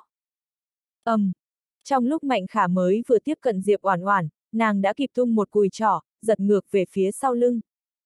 Một giây kế tiếp, Mạnh Khả như diều đứt dây, bay một cái vút, đập thẳng vào lan can sắt của lôi đài. Phụt! Mạnh Khả sắc mặt trắng bệch, đột nhiên phun ra một ngụm máu tươi từ trong miệng. Vào giờ phút này, Mạnh Khả khó tin nhìn Diệp Oản Oản. Nữ nhân xấu xí này, làm sao lại, mạnh như vậy? Không có khả năng, tuyệt đối không có khả năng. Mạnh Khả cắn răng, nhanh chóng từ mặt đất đứng lên, một lần nữa lao về phía Diệp Oản Oản. Một tên lính đánh thuê cấp D, một nữ nhân xấu xí. Nàng làm sao có thể bại trong tay một người như vậy? Cho tới nay, tất cả các đệ tử của cung lão, đều bị sư phụ và bọn họ dẫm ở dưới chân, sẽ không có bất kỳ ngoại lệ nào. Nàng tuyệt đối không cho phép.